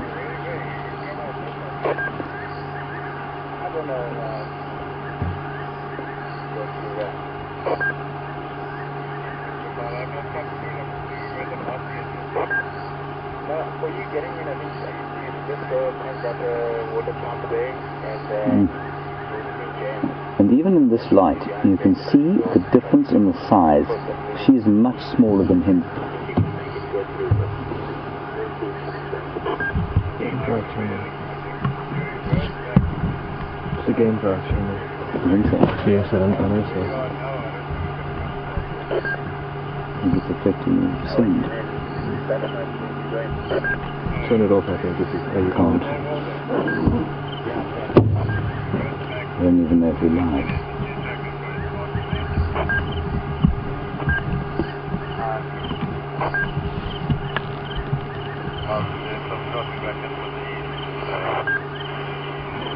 You've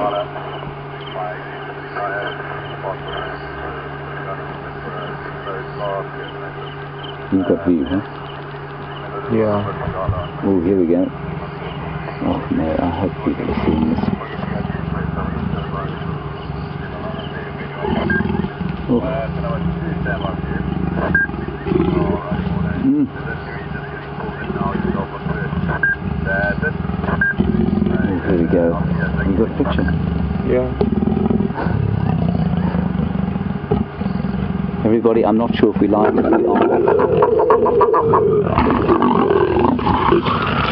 What an astonishing thing to see if we are live. This is just fantastic.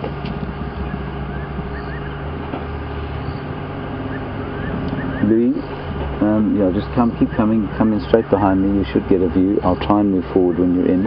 I'm going to have to turn the radio off. Um, it's interrupting our broadcast. So will you take over control, please?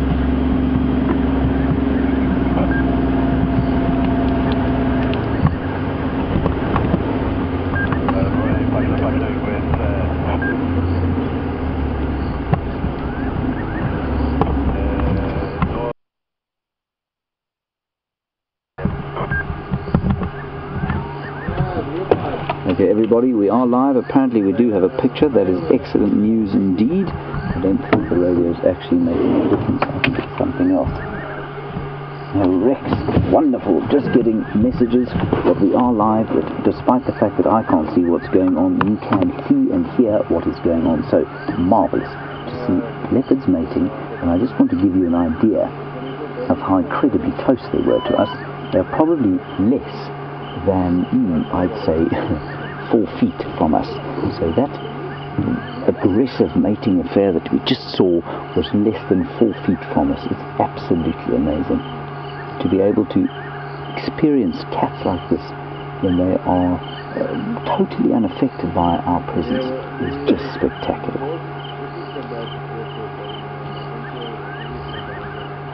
And if you haven't seen mating leopards before, that is interesting. A little bit grim, but interesting. Now that, uh, of course, needs no introduction. But what you can maybe make out, and you maybe get a little, yeah, that penis is barbed on the end, and that is what makes it such an aggressive affair, that mating. That's the male.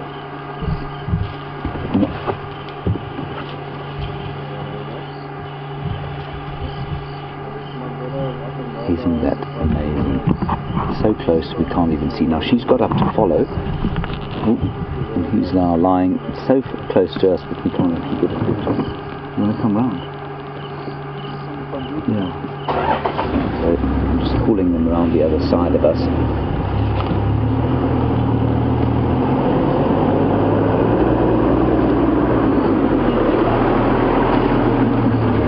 Uh, somebody has just made a joke. I didn't get the name. Here she comes. She's just coming out of the darkness now.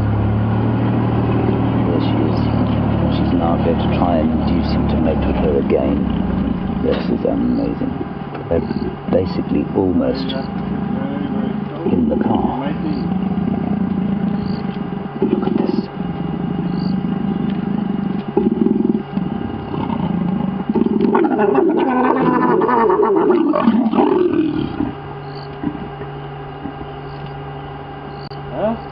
Amazing.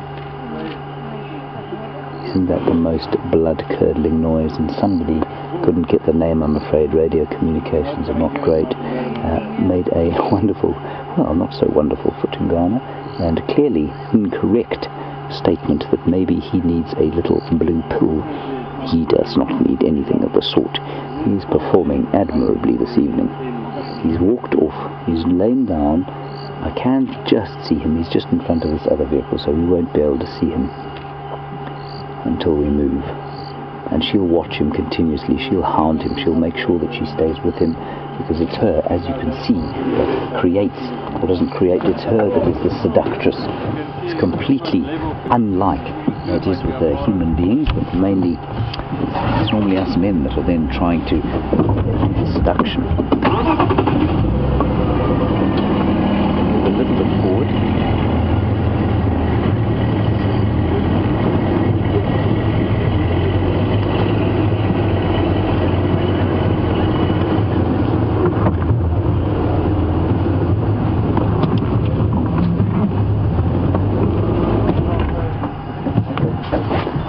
Um, yeah, I don't think we're going to be able to follow in there, to be honest. And did you need this light on? No. Um, Off, might be nice, actually. Okay. There we go. So, everybody, here she comes again. She's coming down the hill. And an interesting question, I think it's from Beth. She is now, of course, mating with mother and daughter, or he is mating with mother and daughter. Let's say they both have cubs. Let's say one's male, one's female. Would the cousins well, they'd be cousins, I suppose, and second cousins. Amazingly enough, first and second cousins in the same in the same way. Uh, would they mate with each other? Would they know any about any sort of kinship recognition? I think they would mate with each other. I don't think it's unusual, and it certainly doesn't seem to harm the society. Ah, wow. this is just spectacular. All right, everybody. I'm afraid we can't spend too much longer here um, because there are another two people trying to get in here. So we are going to probably leave know, the next five minutes or so. I'm just going to find out where those other stations are. But we did have an incredible view so far. Station on standby for. Oh, no, hang on a second. I don't have radio comms now.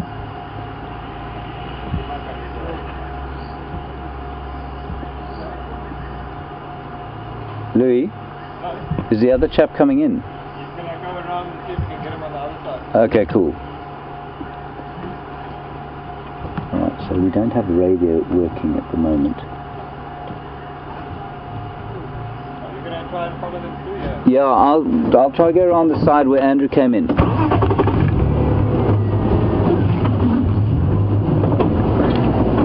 see if we can't get through this rather thick bush. Um, I think he went up there actually. Yeah, they've gone through some pretty thick stuff, everybody. So we'll try and make our way. Oh, oh, oh, oh, oh, oh, oh, oh. We might need a yeah.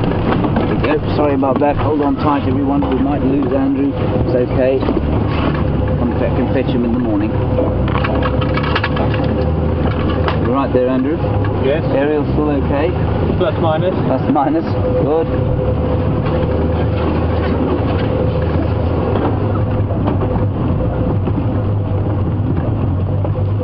Okay, let's get it on here.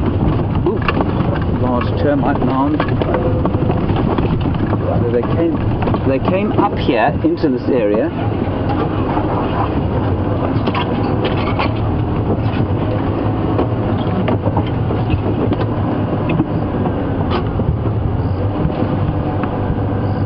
Okay. So, uh, two days ago we watched Tingana and Karula also mating and they had killed a buffalo together. And Arius Lynn, you want to know if these two will do the same thing. They may well. Um, I'm not sure. I have I've actually never seen it before, uh, but I've definitely read about it before. Absolutely, they may well try and hunt together. I'm going to have to turn the radio back on because I can't tell what's going on. So I'm hoping it's not going to destroy the broadcast. There they are. That been there? Not sure.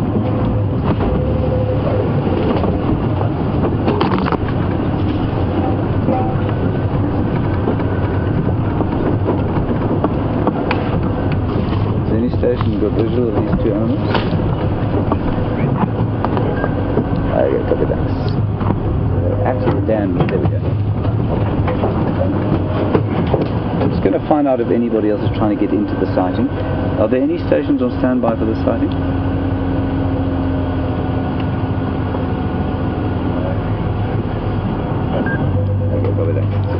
Great news, everyone. We can stay. There's no one else coming to the sighting. We'll just pop over the hill here, and there they are. Well, sort of. Not sure if we can pop over the hill without doing ourselves some serious damage. You see them there, there we go. We'll just let them walk quietly through there, and we'll try and drive down there without causing too much noise. Andrew, do you think we can go straight over the top? I don't see why not. Okay, well, here we go. Oh, they're having a drink. Marvellous. Might be drinking with our Land Rover in next to them.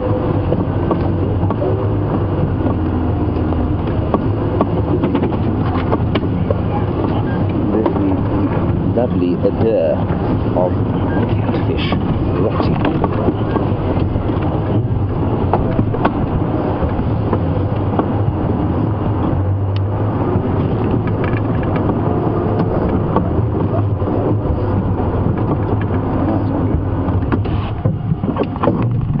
There we go.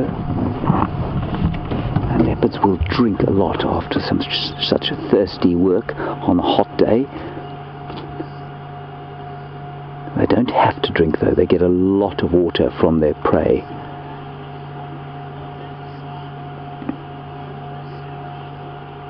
And just a quick recap for those of you who perhaps haven't been watching. I know Mo in Chicago, you've just joined us.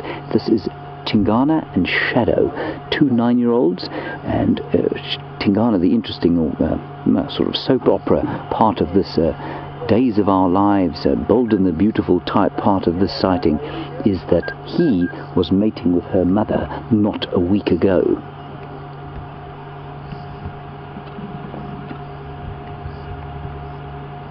And apparently there is a sore on the back of his back left leg. I haven't seen it. Can you see it, Andrew?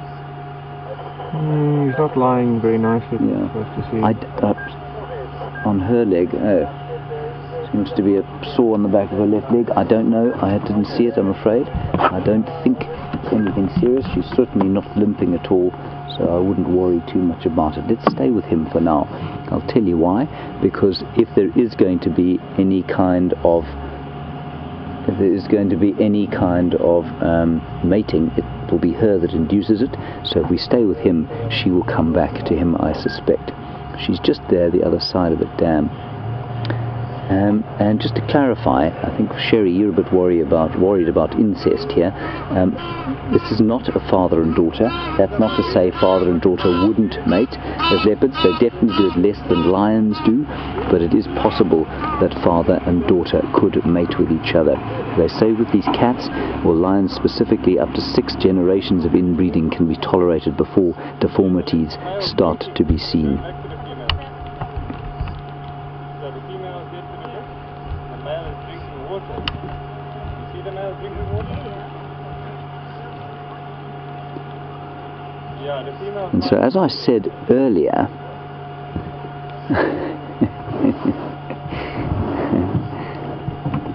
now we had a little bit of a debate about this the other morning when we saw Tingana with Karula and Sheila in Illinois.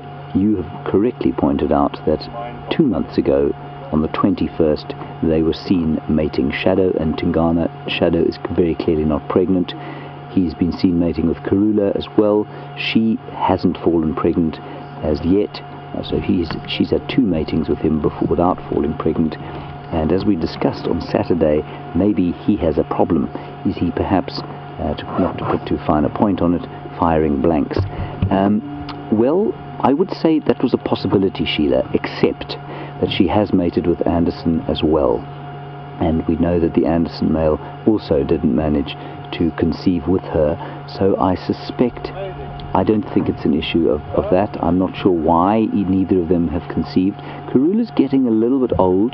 That might have something to do with it. I think the fact that Sandile was still around when she mated with him last time perhaps would have. Maybe she didn't ovulate. Maybe she just came into kind of a forced or premature estrus and perhaps didn't ovulate because her less or just a year old cub Sandile was still around. I'm not sure. I really couldn't say, but it is an interesting one going forward to watch if Tingana is perhaps not um, firing on all cylinders. I don't.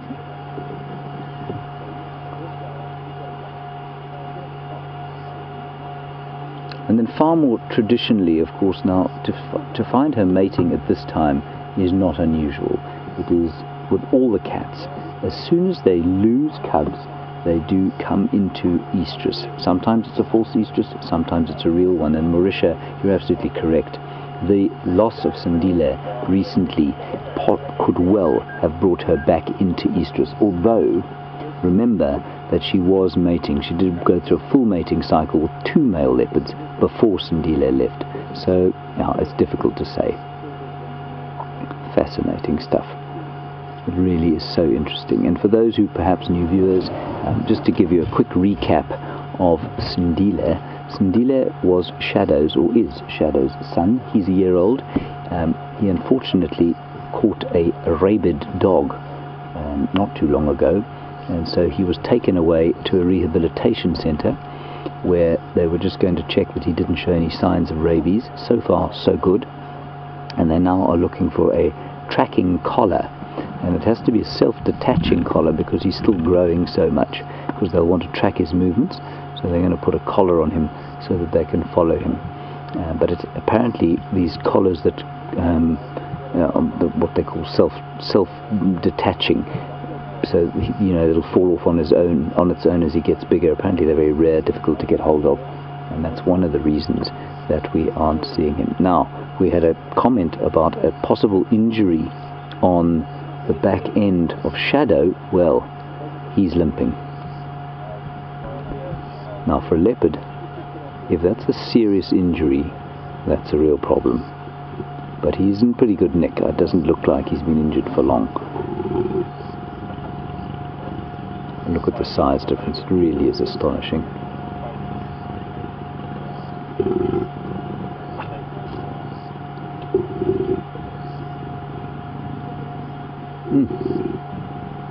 That doesn't look great for him, I have to say.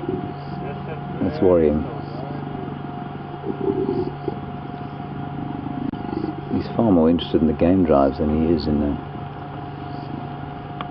his duties as a male leopard. They prefer the seclusion of behind the Land Rover there. A little bit back.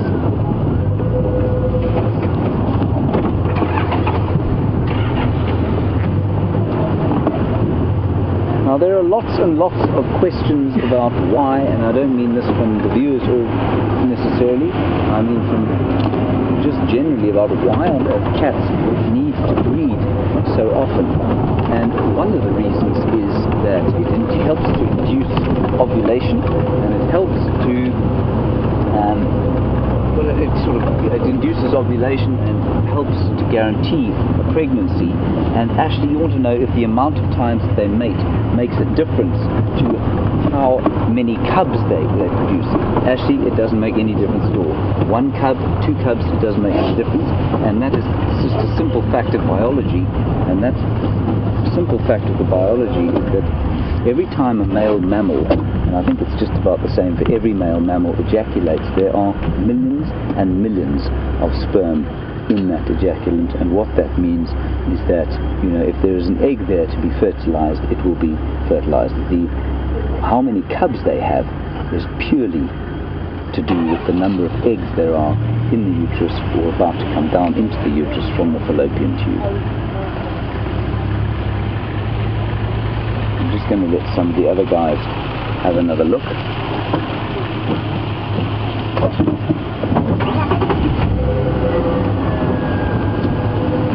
We are all fervently hoping that one of these leopards will have cubs soon. I haven't seen leopard cubs here. I've seen them in other places, but not here. Wouldn't it just be the best, as Donna suggests, for us to have two litters of new cubs? So I'm afraid it's a little bit thick in here, so we may have to wait our turn before we get another proper look. But they are moving along the road, and I don't know if you saw there, he is definitely marking his territory, I think.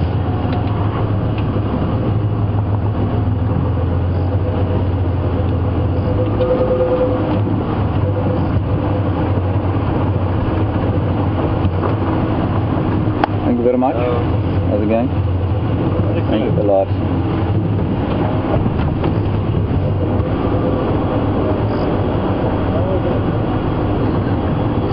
Okay. Yes. While we we're we're on the road here, of course, and they're moving down the road, not doing much, and we're in the way of various vehicles. Let's go across to Brent. Um, if we get into a decent position, we'll come back and we'll look at them. Let's head across to Brent. He is with some much larger animals coming out of the water.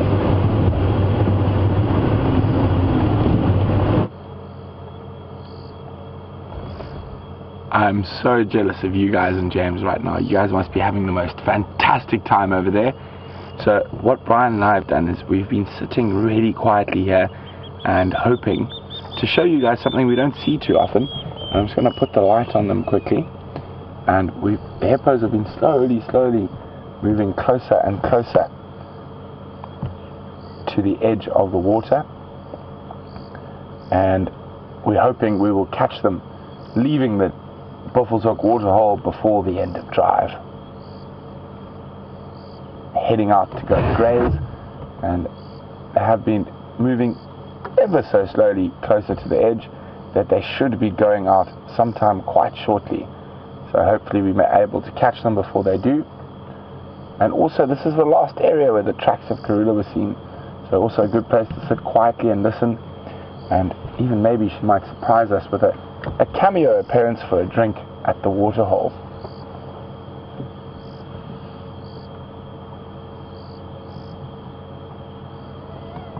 Going to be crossing back to the east. Thank you. I'll see you in the morning. And that's Craig on his way home. Good evening. I'm back to the east. Any updates? I think Craig's got confused between his radio channels. Uh, Craig, you're still on the northern channel. Can I speak to Clara quick? Yeah, of course you can. Tara, Tara for Andrew. To speak. Don't don't ask her to come in. No, she's talking to Ben. Tara, if you can go back through the clips and record this stuff, that'll be great. I don't have a memory card.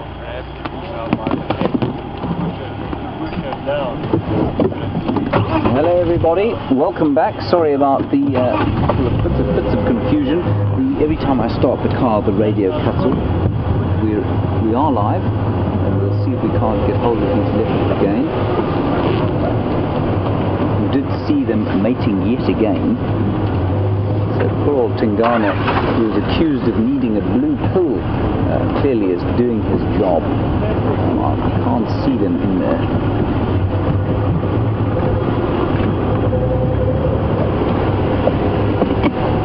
Oh, they've gone down the road. Are you guys pulling out? Thanks very much. Thanks, man. Right. They're all ours. Wonderful.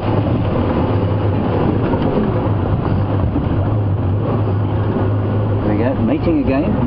No, they're not. I don't know where she is. She will be around here somewhere. No, that's who's that? That's Mr. Mrs. is around here somewhere.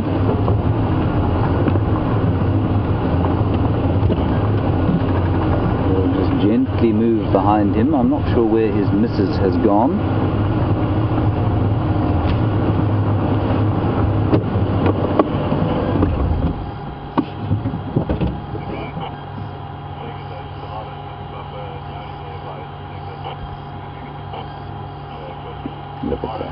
So he's walking actually a bit easier. So he looked like he was he was injured. He's probably just a bit stiff from lying around all day. Probably a slight injury. He and um, Karula, Shadow's mother, did kill a buffalo uh, a little while back, a few days ago, young buffalo. But that was a big animal for him to have killed, and perhaps he got a bit damaged during the hunt.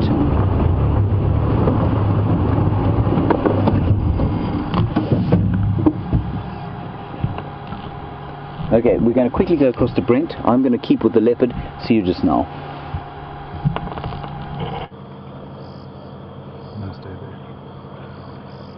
So there go the hippos. We're just going to show them quickly and say our quick goodnight. Sorry we weren't able to be out there for the most of the safari, but it seems like we've fixed our technical issue uh, for now at least. And so from Brian and myself and the large bottoms departing the Buffelshoek waterhole, uh, hopefully we'll see you, a lot more of you on the Sunrise Safari and have a wonderful evening and enjoy those leopards with James. Right, you're back with us. Tingana is marking territory. He's walking along a territorial boundary here. He's marking territory. I don't know where she's gone. But, like I said, it'll be best to stick with him because she, of course, is the in- inductor or inducer of this mating episode. He won't go chasing her, she will chase him. So we'll follow him and see what happens. I, I mean, I can't imagine that she isn't around here somewhere. She may have got sick and tired of it and moved on. It's not likely to happen though. He is definitely limping. Can you see that? Now the crucial thing for leopard, okay, it's, it's dangerous for them to get injured. They are not like lions, so they live totally on their own. And if they do get injured, of course, there's no one to help them feed. And so he will need to get over that very quickly.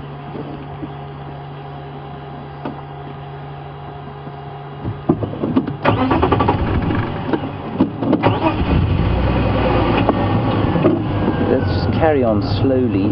Um, I think that this injury was probably caused during that hunt, either during that hunt with um, Karula the other day, where they took down a buffalo together, or it's possibly during all this mating.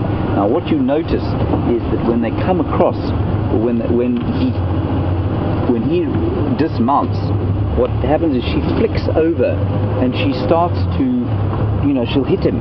And perhaps her claws got in into him, and that may be what's wrong with his foot. Um, I don't think, as I'm afraid I missed the name because we were starting the car. I think it was Abby, maybe. I don't. Eddie Abbey. I don't think that it was caused by a territorial mm, uh, fight. If leopards have a territorial fight, and it's not usual, it's unusual. Normally they'll just sit next to each other and growl, uh, a bit like two men facing off in a bar, neither of them wanting to really test one against the other. And that's what leopards generally do. And if he had had a proper territorial fight, he'd be sore on the on the head. He'd definitely have taken some hits and bites on the top of his head. So I think this has been caused by mating or the killing of that buffalo the other day. I just hope it heals.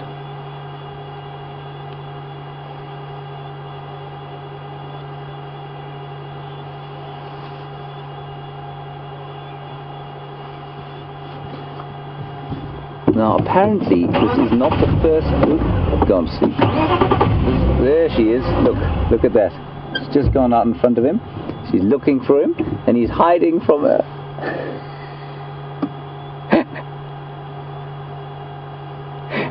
Too late, chum. She's got hmm. you.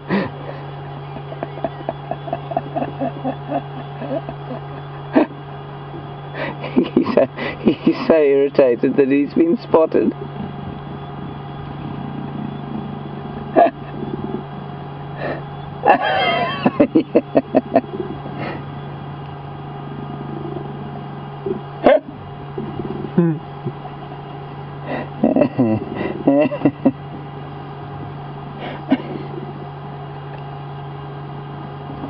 This is just, just unbelievable. He's had a guts full of this.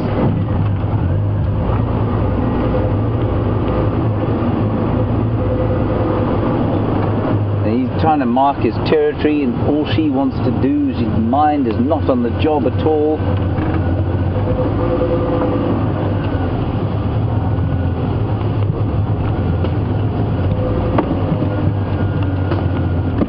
Side light, Andrew? That? Just put the side light. Okay. Does that help? That's good. Okay. Sneak a little bit forward.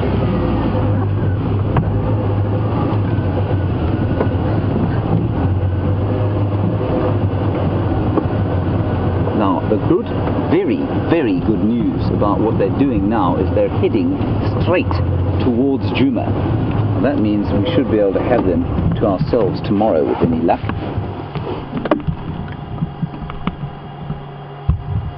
He is playing hard to get, he is disinterested. He's marking his territory, he's a man on a mission, and he's being distracted, and it's starting to irritate him. You could see as she came up, he put his ears back, turned his head as if to say, Oh, really? Now? Again? Surely not.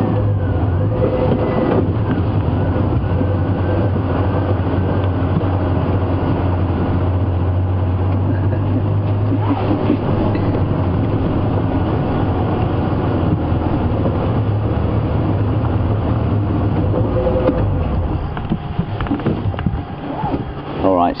So everybody, we are going to let's just watch what happens here. It's nearly time for us to go. Let's just watch what happens here. See if they actually do get it on, as it were. But he is just not interested. This is marvelous to watch. We'll just watch the end of this little sequence of seduction.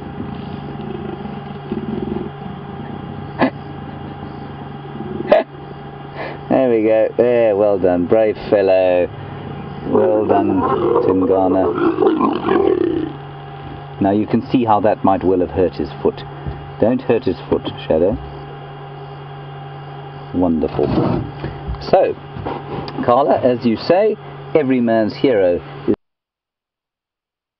well, certainly some men's heroes, like the script from The Bold and the Beautiful circa 1989 or so. I think that's when I last watched it.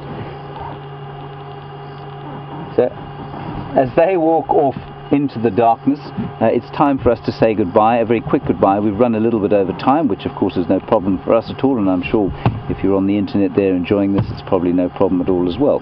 Uh, a big thank you to Andrew. Thank you, Andrew, for all your technical work today on the